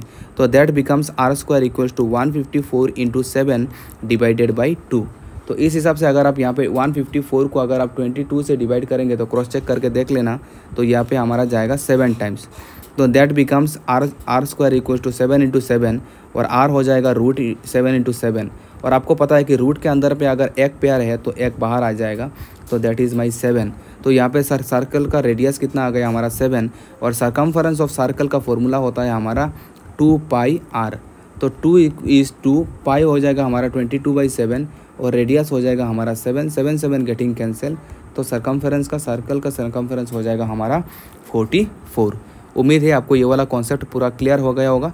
फिर सर नेक्स्ट हम आगे बढ़ेंगे और देखिए नेक्स्ट हमारा क्वेश्चन क्या बोल रहा है। तो अगर हम यहाँ पे आपका क्वेश्चन नंबर सिक्स डिस्कस करेंगे तो सिक्स में सर क्या बोल रहा है देख लीजिए। What is area of largest circle that can be drawn inside a square of side fourteen centimetre बोल रहा है कि आपको मैंने एक सर, सर स्क्वायर दिया है। वह स्क्वायर का सर साइड कितना है? फोर्टीन सेंटीमीटर तो बोल रहा है कि वो जो स्क्वायर आपको मैंने दिया है फोर्टीन सेंटीमीटर का जो स्क्वायर दिया है फोर्टीन सेंटीमीटर का जो मैंने स्क्वायर दिया हुआ है वो फोर्टीन सेंटीमीटर स्क्वायर में आप कितना बड़ा सर्कल आप ड्रॉ कर सकते हो ये आपको बताना है सर तो मान लीजिए सर ये हमारा स्क्वायर है। मान लीजिए ये हमारा स्क्वायर है। ये स्क्वायर हमारा ड्रॉ नहीं हुआ अच्छे से। ये देख लीजिए मान लीजिए ये हमारा मान लीजिए ये हमारा स्क्वायर है। Let suppose this is my square let suppose this is my square और ये स्क्वायर में अगर हम एक सर्कल को अगर हम ड्रॉ करेंगे तो ये वाला जो लेंथ है that is my fourteen square का जो सब स्क्वायर का सब लेंथ हमारा इक्वल होता है तो ये फोर्टीन फोर्टीन फोर्टीन सब हमारा फोर्टीन हो गया। तो यहाँ पे हमारा दिख जाएगा कि अगर ये फोर्टीन है तो ये वाला भी हमारा फोर्टीन हो जाएगा। देन यहाँ पे आपको यहाँ पे मिल रहा है कि diameter is nothing but fourteen centimetre अगर आपका यहाँ पे डायमीटर अगर 14 सेंटीमीटर है तो आपको पता है कि रेडियस का फॉर्मूला क्या होता है? डायमीटर बाई टू डायमीटर हमारा 14 बाई टू इसका मतलब से रेडियस हमारा कितना हो गया सर सेवन सेंटीमीटर और अगर हमारा रेडियस अगर सेवन सेंटीमीटर हो गया तो हमें बोला है कि एरिया ऑफ़ सर्कल का निकालने के लिए तो एरिया ऑफ़ सर्कल का फॉर्मूला हो जाएगा हमारा पाई आर स्क्वायर पाई का वैल्यू हो जाएगा sir twenty two by seven r square मतलब आर दो बार आर का वैल्यू है सेवन तो seven into seven seven seven getting cancel तो एरिया ऑफ़ सर्कल हमका हो जाएगा one hundred fifty four I hope आपको ये पूरा क्लियर हो गया होगा। तो सर इसके बाद फिर नेक्स्ट हम आगे बढ़ेंगे और देखेंगे कि हमारा अगला क्वेश्चन क्या बोल रहा है। तो सर अगला क्वेश्चन आपके सामने ये रहा। क्या बोल रहा है question number seven if the ratio of the length and the breadth of a rectangular garden is three to two इसका मतलब कोई भी एक रेक्टेंगल है, कोई भी एक रेक्टेंगल है सर मान लीजिए ये आपका रेक्टेंगल है, और रेक्टेंगल का लेंथ और ब्रेथ जो है ना सर लेंथ और ब्रेड जो है, इसका रेशियो दिया हुआ है थ्री इस टू टू और आपको हमने बताया था कि कहीं पे भी अगर आपका रेशियो दिख गया तो रेशियो को हटाने के लिए कुछ मत कीजिए सर इसके साथ एक्स लगा दीजिए. That becomes three x and twice x इसका मतलब लेंथ ये वो जो आपको लेंथ दिख रहा है that is my three x और आपका ये जो ब्रेड दिख रहा है that is my twice x इतना समझ में आ गया? चलिए सर हम आगे बढ़ेंगे. If the length of the garden is one fifty centimetre और ये जो लेंथ हमने थ्री एक्स निकाला, लेकिन थ्री एक्स का क्वेश्चन में वैल्यू कितना दिया हुआ है? वन हंड्रेड फिफ्टी ये थ्री एक्स का जो वैल्यू आपको दिख रहा है ये थ्री एक्स का जो वैल्यू दिख रहा है ये क्वेश्चन में दिया हुआ है वन फिफ्टी इसका मतलब हम ये लिख सकते हैं कि three I three x equals to one fifty तो इस हिसाब से हमारा एक्स का वैल्यू हो जाएगा वन फिफ्टी बाई थ्री तो एक्स का वैल्यू हो जाएगा हमारा फिफ्टी और अगर हमारा एक्स का वैल्यू अगर हम फिफ्टी आ गया तो इसका मतलब हम ब्रेथ का भी वैल्यू निकाल सकते हैं। ब्रेथ का वैल्यू क्या है सर ट्वाइस एक्स और अगर हमारा ब्रेथ का वैल्यू ट्वाइस एक्स है तो हम क्या लिख सकते हैं? टू इंटू फिफ्टी तो हम क्या लिखेंगे सर हंड्रेड तो हमारा आंसर हो जाएगा, sir find the breadth breadth हो जाएगा हमारा हंड्रेड आई होप आपको ये वाला कॉन्सेप्ट पूरा क्लियर हो गया होगा। आप इसका स्क्रीनशॉट ले लीजिए, सर, फिर नेक्स्ट हम आगे बढ़ेंगे। अगर हम नेक्स्ट आगे बढ़ेंगे तो क्वेश्चन नंबर एट पे आ जाइए। क्वेश्चन नंबर एट में आपका क्या बोल रहा है, देखिए। The ratio of the length and the breadth of a rectangle is three to two and its area is ninety six centimetre मतलब यहाँ पे आपका कोई एक रेक्टेंगल दिया हुआ है, यहाँ पे कोई एक रेक्टेंगल दिया हुआ है और यह रेक्टेंगल जो है, इसका लेंथ और ब्रेथ का देख लीजिए। लेंथ और ब्रेथ का रेशियो अगर थ्री टू टू है तो लेंथ हो जाएगा थ्री एक्स और ब्रेथ हो जाएगा ट्वाइस एक्स ठीक है सर और ये वाला अगर लेंथ और ब्रेथ अगर हमारा दिया हुआ है तो हमारा एरिया क्या हो जाएगा? एरिया हो जाएगा हमारा लेंथ इंटू ब्रेथ लेंथ है हमारा थ्राइस एक्स और ब्रेथ है हमारा ट्वाइस एक्स तो इसका मतलब हमारा एरिया क्या हो जाएगा? Six x square x square ठीक है? ये एरिया हमने निकाला है सर लेकिन क्वेश्चन में एरिया क्या बोल रहा है? नाइन्टी सिक्स तो मतलब सिक्स एक्स स्क्वायर का वैल्यू क्या हो गया? नाइन्टी सिक्स अगर हमने इसको सॉल्व किया, अगर हम इसको सॉल्व करेंगे सर अगर हम इसको सॉल्व करेंगे तो देख लीजिए, ये हमारा हो गया six x square equals to ninety six तो एक्स स्क्वायर हमारा क्या हो जाएगा? नाइन्टी सिक्स बाई सिक्स हो जाएगा दैट इज़ माई सिक्सटीन और अगर हमारा एक्स स्क्वायर अगर सिक्सटीन है तो हमारा एक्स कितना हो जाएगा? रूट सिक्सटीन और रूट सिक्सटीन का एक वैल्यू क्या हो जाएगा? फोर तो इसका मतलब सर हमारा एक्स का वैल्यू आ गया। और अगर हमारा एक्स का वैल्यू आ गया तो थ्री एक्स का मतलब क्या होगा? थ्री इंटू फोर तो इस हिसाब से हम लेंथ बोलेंगे ट्वेल्व और हमारा ब्रेथ क्या हो जाएगा? टू एक्स मतलब टू इंटू एक्स और एक्स का वैल्यू है फोर तो इसका मतलब हमारा वैल्यू यहाँ पे क्या हो जाएगा सर? यहाँ पे हमारा वैल्यू हो जाएगा टू इंटू फोर और टू इंटू फोर मतलब एट इसका मतलब हमारा लेंथ आ गया ट्वेल्व और ब्रेथ आ गया हमारा एट ठीक है सर? तो और क्वेश्चन में पूछा क्या? लेंथ पूछा तो लेंथ आपका क्या आ गया सर? लेंथ आपका ट्वेल्व आ गया। आई होप आपको ये पूरा कॉन्सेप्ट क्लियर हो गया होगा। ठीक है सर? फिर नेक्स्ट हम आगे बढ़ेंगे। अगर इस कॉन्सेप्ट में हम आगे अगर बढ़ेंगे तो नेक्स्ट टॉपिक में देख नेक्स्ट क्वेश्चन देखते हैं कि नेक्स्ट क्वेश्चन आपका क्या बोल रहा है। अगर नेक्स्ट क्वेश्चन हम इसके साथ, ये वाला अगर हम आपके साथ डिस्कस करेंगे तो नेक्स्ट क्वेश्चन आप देख लीजिए क्या बोल रहे हैं। The ratio of length and breadth of a rectangular garden is three to two and length is one fifty find its breadth ये वाला क्वेश्चन हमने ऑलरेडी कवर कर लिया। आप इसका क्वेश्चन देख लीजिए। ये आपका क्वेश्चन हमारा क्वेश्चन नंबर जो नाइन जो है, ये अभी हमने किया है। ये वाला अभी आप देख लीजिए रिपीट हो रहा है क्वेश्चन और कुछ नहीं। ये वाला क्वेश्चन आपका दिया हुआ है। ये वाला होगा शायद। हाँ जी, ये वाला क्वेश्चन है। ये क्वेश्चन नंबर सेवन और question number Sen nine same ही है। फिर नेक्स्ट हम ये वाला क्वेश्चन नंबर सेवन आप अच्छे से देख लीजिए। फिर उसके बाद नेक्स्ट हम आगे बढ़ेंगे sir question number ten question number ten में क्या बोल रहा है, देखिए। The angles of a parallelogram is equal तो एक पैरालोग्राम का एंगल इक्वल है। मतलब ये एक पैरालोग्राम है, ये एक पैरालोग्राम का है A B C D angle parallelogram का एंगल इक्वल नहीं होता है, लेकिन यहाँ पे इक्वल एंगल दे रखा है।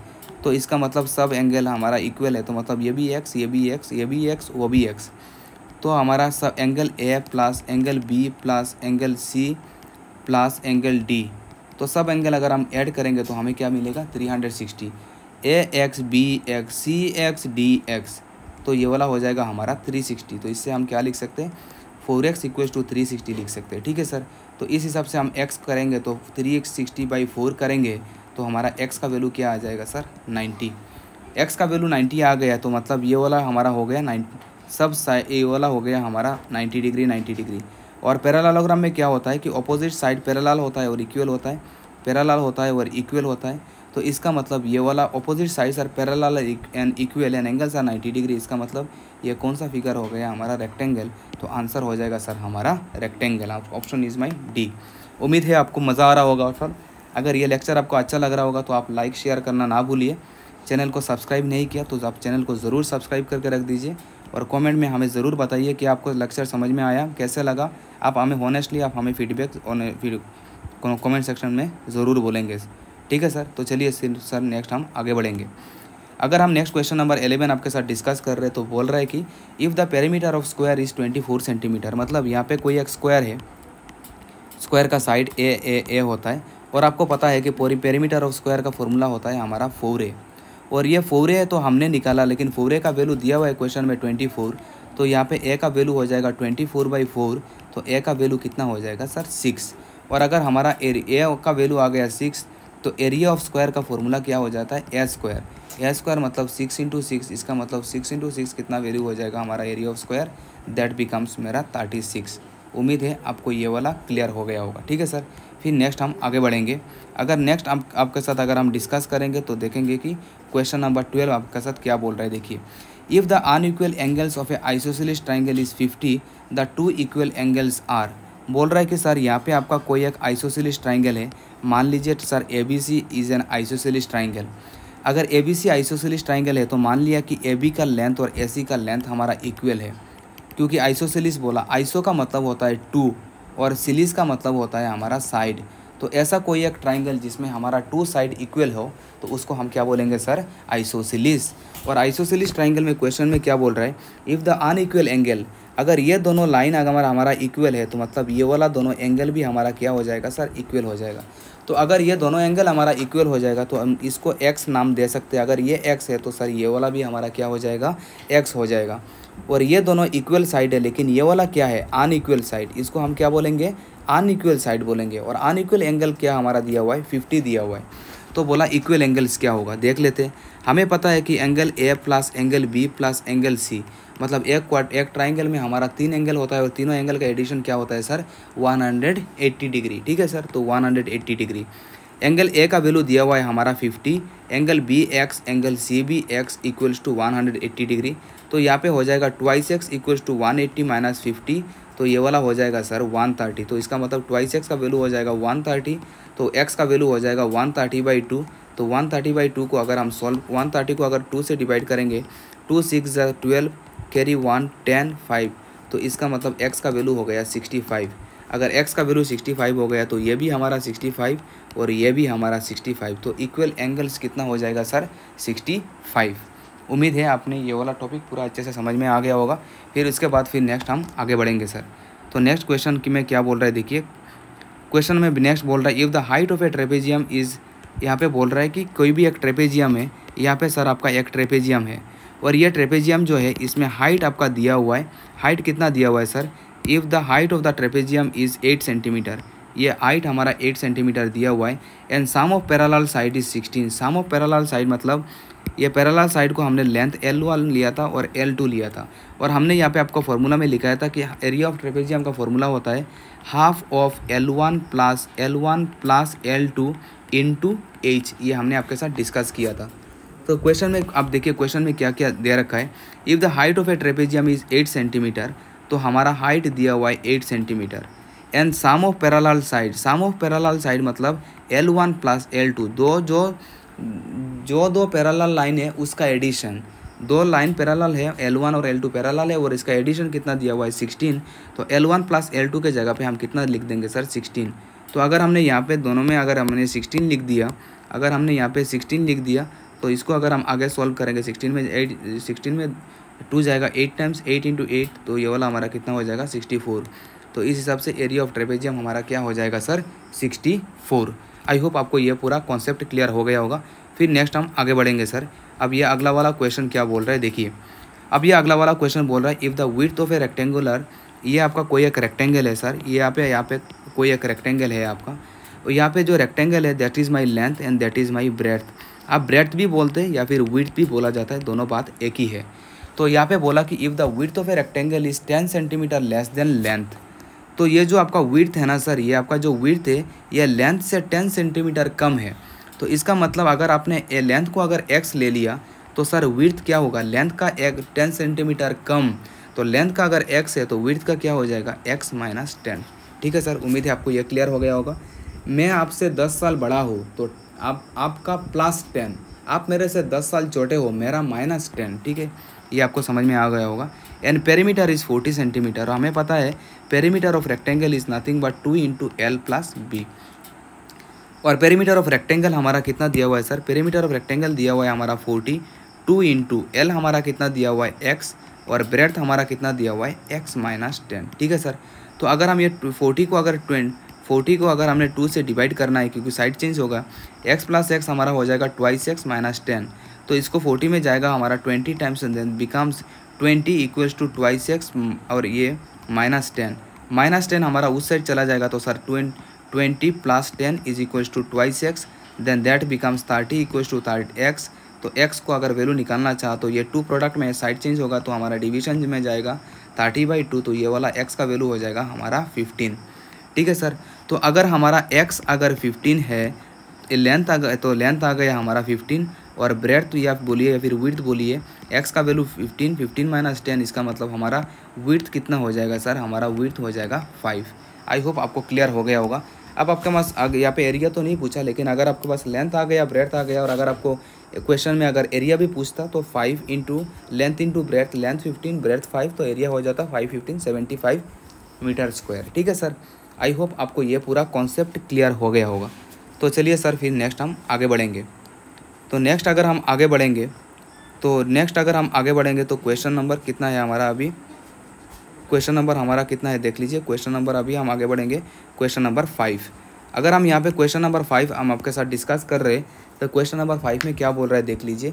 If the area of square is equal to the area of rectangle मतलब यहाँ पे आपका एक स्क्वायर है यहाँ पे आपका स्क्वायर है और यहाँ पे आपका एक रेक्टेंगल है। तो क्वेश्चन में दिया हुआ है कि area of square is equals to area of rectangle ये आपको दे रखा है। If the area of square is equals to the area of rectangle having side of length nine centimetre and four centimetre मतलब ये आपका जो दिख रहा है, ये आपका ये आपका जो लेंथ दिख रहा है आपका, ये आपका नाइन है, ये आपका नाइन है, ये आपका नाइन है। तो एरिया ऑफ़ स्क्वायर हो जाएगा हमारा एस स्क्वायर ए स्क्वायर मतलब ए का लेंथ है हमारा नाइन तो ये वाला हो जाएगा नाइन इंटू नाइन और एरिया ऑफ़ रेक्टेंगल हम बात करेंगे तो लेंथ इंटू ब्रेथ ठीक है सर तो if the area of square is equal to the area of rectangle ठीक है having side of length nine centimetre and four centimetre then length of rectangle is तो यहाँ पे लेंथ लेंथ ऑफ़ रेक्टेंगल पूछ रहा है। Length of rectangle पूछ रहा है और दूसरा साइड दिया हुआ है, इसका मतलब फोर दिया हुआ है। तो ब्रेड के जगह में हम कितना पुट कर देंगे? फोर पुट कर देंगे। तो इस हिसाब से अगर हम अगर करेंगे तो इसका लेंथ कैलकुलेट कर लीजिए। नाइन इंटू नाइन हमारा क्या हो जाएगा? नाइन इंटू नाइन हो जाएगा हमारा eighty one equals to length in into four तो एट्टी वन बाई फोर ये वाला हो जाएगा हमारा twenty point two five will be my answer that is my length इसका स्क्रीनशॉट ले लीजिए, फिर सर नेक्स्ट हम आगे बढ़ेंगे। ये जितना भी क्वेश्चन हम आपके साथ डिस्कस कर रहे हैं, ये सारा हमारा प्रीवियस ईयर क्वेश्चन ही है, जो हमने एक पेज में लिख के हमने आपके साथ डिस्कस करने के लिए टिक्स लगा। तो चलिए सर नेक्स्ट हम आगे बढ़ेंगे। नेक्स्ट क्वेश्चन नंबर सिक्स में आपका क्या बोल रहा है, देखिए। If the area of square अब एरिया ऑफ़ स्क्वायर में क्या दे रखा है, देखिए। अगर एरिया ऑफ़ स्क्वायर अगर हमें दे, दिया रखा है तो एरिया ऑफ़ स्क्वायर में क्या बोल रहा है, देखिए। The area of square of side sixteen centimetre आपका एक स्क्वायर है, और स्क्वायर का साइड कितना दिया हुआ है, सर? स्क्वायर का साइड दिया हुआ है हमारा सिक्सटीन सेंटीमीटर तो area of square of side sixteen sixteen centimetre is same as that of rectangle मतलब एरिया ऑफ़ स्क्वायर आपका इक्वल है, किसके साथ सर आपका रेक्टेंगल के साथ इक्वल है।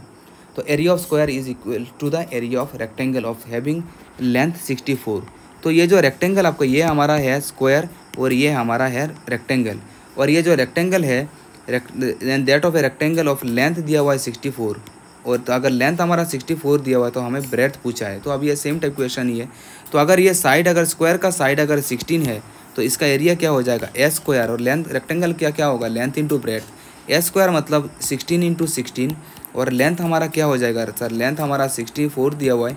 ब्रेथ हमें निकालना है। तो सिक्सटी इंटीन इंटू सिक्सटीन और सिक्सटी फोर उस साइड आएगा तो डिवाइड में जाएगा। तो हम ब्रेथ निकालेंगे। ये चार बार सिक्सटीन जाएगा, चार में चार बार। तो ब्रेथ हमारा कितना हो जाएगा सर फोर तो उम्मीद है आपको ये ब्रेथ भी हमारा आ गया होगा। आपको अच्छा लगा होगा। तो चलिए सर नेक्स्ट हम आगे बढ़ेंगे आपका। तो क्वेश्चन नंबर सेवन में क्या बोल रहे हैं सर देख लीजिए। क्वेश्चन नंबर सेवन में आपको बोला if the ratio of area of two square is nine is to one तो यहाँ पे आपका दो स्क्वायर है सर एक बड़ा वाला स्क्वायर आपको दिख रहा होगा।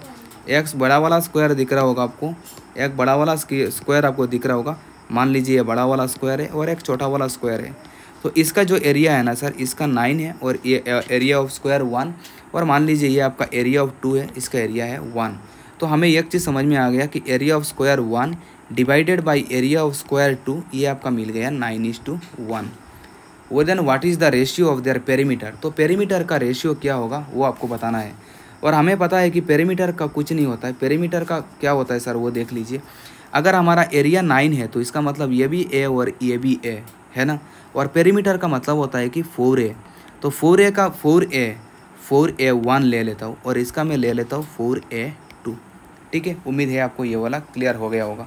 तो अगर हमने यहाँ पे अगर एरिया ऑफ़ स्क्वायर अगर हमारा नाइन दिया हुआ है तो इसका साइड क्या हो जाएगा सर साइड साइड होगा कि एरिया ऑफ़ स्क्वायर मतलब ए स्क्वायर ए स्क्वायर का वैल्यू दिया हुआ है nine a one square a one का वैल्यू दिया हुआ है nine area of square area of square one area of square one के जगह पे हम क्या लिख सकते? हैं ए वन का होल स्क्वायर और एरिया ऑफ़ स्क्वायर टू का हम क्या लिख सकते? हैं ए टू का whole square is equals to nine by one तो अगर हमने यहाँ से लिखा तो a a one by a two अगर हम करेंगे तो that becomes nine by one nine का वन नाइन का क्या हो जाएगा सर रूट नाइन का हो जाएगा थ्री और वन का क्या हो जाएगा वन तो इसका मतलब ये वाला हमारा साइड का रेशियो क्या आ गया? थ्री बाई वन और हमें करना क्या है सर पेरीमीटर तो perimeter one divided by perimeter two is nothing but perimeter मतलब फोर ए वन इसका पेरीमीटर हो जाएगा हमारा फोर ए वन और इसका पेरीमीटर क्या हो जाएगा? फोर ए टू ठीक है तो हमने इसको कर दिया four A one divided by four A two four four getting cancel A one है हमारा थ्री ए टू है हमारा वन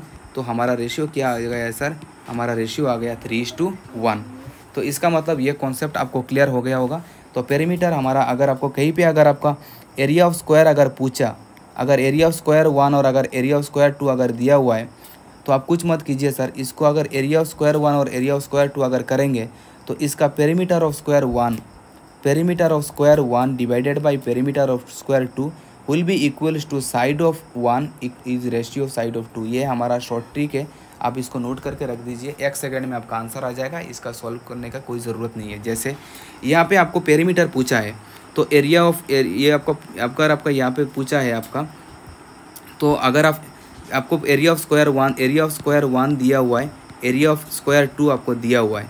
तो एरिया ऑफ़ स्क्वायर वन हमें क्या दिया हुआ है? हमारा नाइन और एरिया ऑफ़ स्क्वायर टू हमारा दिया हुआ है। एरिया ऑफ़ स्क्वायर वन दिया हुआ है नाइन एरिया ऑफ़ स्क्वायर दिया हुआ है वन तो अगर हमने ये दोनों को स्क्वायर कर दिया तो ये वाला हो जाएगा थ्री टू वन तो ये वाला हो गया perimeter one divided by perimeter two एक सेकंड में आंसर ये करने का कोई ज़रूरत नहीं, बस एरिया का स्क्वायर लूट ले लीजिए। पेरीमीटर का रेशियो बोलिए, या फिर साइड का रेशियो बोलिए, जो भी बोलिए, उसका आंसर आपका आ जाएगा। ठीक है सर तो नेक्स्ट हम आगे बढ़ेंगे। नेक्स्ट देखिए क्वेश्चन क्या बोल रहा है। तो अगर नेक्स्ट सेट ये क्वेश्चन में बोल रहा है कि if the perimeter of a rectangular field is 200 metre मतलब यहाँ पे आपका कोई एक रेक्टेंगल है रेक्टेंगल मान लीजिए इसका लेंथ है और इसका ब्रेथ है। तो अगर हमने यहाँ पे पेरीमीटर ऑफ़ रेक्टेंगल हमने निकाला तो पेरीमीटर ऑफ़ रेक्टेंगल का फॉर्मूला होता है two into L plus B और पेरीमीटर ऑफ़ रेक्टेंगल हमारा कितना दिया हुआ है सर? टू हंड्रेड तो that becomes two into L plus B two उस साइड चला जाएगा तो two hundred divided by two is equals to length plus breadth तो ये वाला हमारा हो जाएगा hundred equals to length plus breadth ठीक है, ये रिलेशनशिप इतना तक आ गया। And breadth is forty centimetre breadth का वैल्यू दिया हुआ है सर ब्रेथ का वैल्यू कितना दिया हुआ है? हमारा फोर्टी तो हंड्रेड माइनस फोर्टी अगर हम करेंगे तो यहाँ से हमारा लेंथ आ जाएगा कितना? सिक्सटी ये हमारा लेंथ आ गया सिक्सटी एंड हम लेंथ भी आ गया लेंथ सिक्सटी आ गया और ब्रेथ हमारा दिया हुआ है। और हमें क्या पूछा है सर हमें एरिया ऑफ़ रेक्टेंगल पूछा है। और अगर एरिया ऑफ़ रेक्टेंगल पूछा है तो उसका फॉर्मूला होता है लेंथ इंटू ब्रेथ लेंथ कितना है सर आपका सिक्सटी लेंथ है आपका सिक्सटी और ब्रेथ है आपका फोर्टी तो इसका एरिया कितना हो जाएगा? सिक्स फोर ज़ा ट्वेंटी फोर तो that is my twenty four hundred तो एरिया आपका कितना हो गया sir twenty four hundred I hope आपको ये पूरा क्लियर हो गया होगा। तो चलिए सर फिर नेक्स्ट हम आगे बढ़ेंगे। अगर नेक्स्ट हम आगे बढ़ेंगे तो यह सीरीज़ का आज लास्ट क्वेश्चन होने वाला है। तो देख लीजिए, ये क्वेश्चन नंबर नाइन पे आपका क्या बोल रहा है।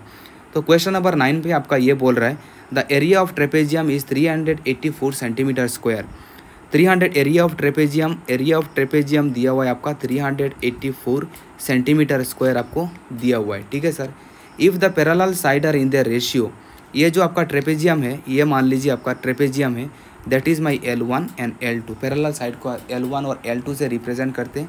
तो आपको यहाँ पे दिया हुआ है एल वन और एल टू का रेशियो दिया हुआ है। क्या दिया हुआ है sir three is to five दिया हुआ है। तो ये हो गया हमारा थ्री एक्स और ये वाला हो गया हमारा फाइव एक्स ठीक है क्लियर है sir the area of trapezium is three hundred eighty four इसको हम ऐसा लाइन नहीं खींचेंगे, आप स्क्रीनशॉट लेने में दिक्कत हो जाएगा। The area of trapezium is 384 area of trapezium हमने लिख दिया। If the parallel side are in the ratio three is to five parallel side three is to five वो भी हमने कर दिया। And the perpendicular distance between them मतलब ये वाला हाइट दिया हुआ है। हाइट कितना दिया हुआ है sir perpendicular distance between them is twelve centimetre मतलब हाइट का वैल्यू आपको ट्वेल्व दिया हुआ है। तो आपको पूछा है कि length of smaller side smaller side का लेंथ कितना है, वो आपको बताना है सर हमें फॉर्मूला क्या पता है सर कि area of trapezium is nothing but half of L one plus L two into H area of trapezium कितना दिया हुआ है sir three hundred eighty four half of L one plus L two L one है हमारा three x L two है हमारा five x height हमारा कितना है सर ट्वेल्व तो ट्वेल्व में हमारा ट्वेल्व में हमारा टू जाएगा सिक्स टाइम्स तो थ्री एक्स प्लस फाइव ये वाला हो जाएगा हमारा eight X eight X into six equals to three तो अगर आपको x का वैल्यू निकालना है तो 384 को हम उस साइड ले जा रहे हैं, यहाँ पे जगह नहीं है. तो अगर ये वाला अगर आपने सॉल्व करना है तो नेक्स्ट ये हमारा एक्स का वैल्यू निकालना है तो 384 ये एट उस साइड चला जाएगा साइड चेंज होगा सिक्स भी जाएगा एट भी गया सिक्स भी गया, और एक्स का वैल्यू निकालना है। और अगर हमें एक्स का वैल्यू अगर निकालना है तो देख लीजिए थ्री एट्टी फोर में एट जा रहा है क्या? थ्री हंड्रेड एट्टी फोर में अगर एट से डिवाइड करेंगे तो फोर एट ज़ा थर्टी टू ये वाला गया हमारा सिक्सटी फोर एट एट ज़ा सिक्सटी फोर इसका मतलब हमारा कितना एट कितना बार जाएगा? फोर्टी एट टाइम्स और फोर्टी एट में हमारा सिक्स कितना बार जाएगा सर एट टाइम्स तो इसका मतलब सर हमारा एक्स का वैल्यू कितना हो गया? हमारा एट हो गया.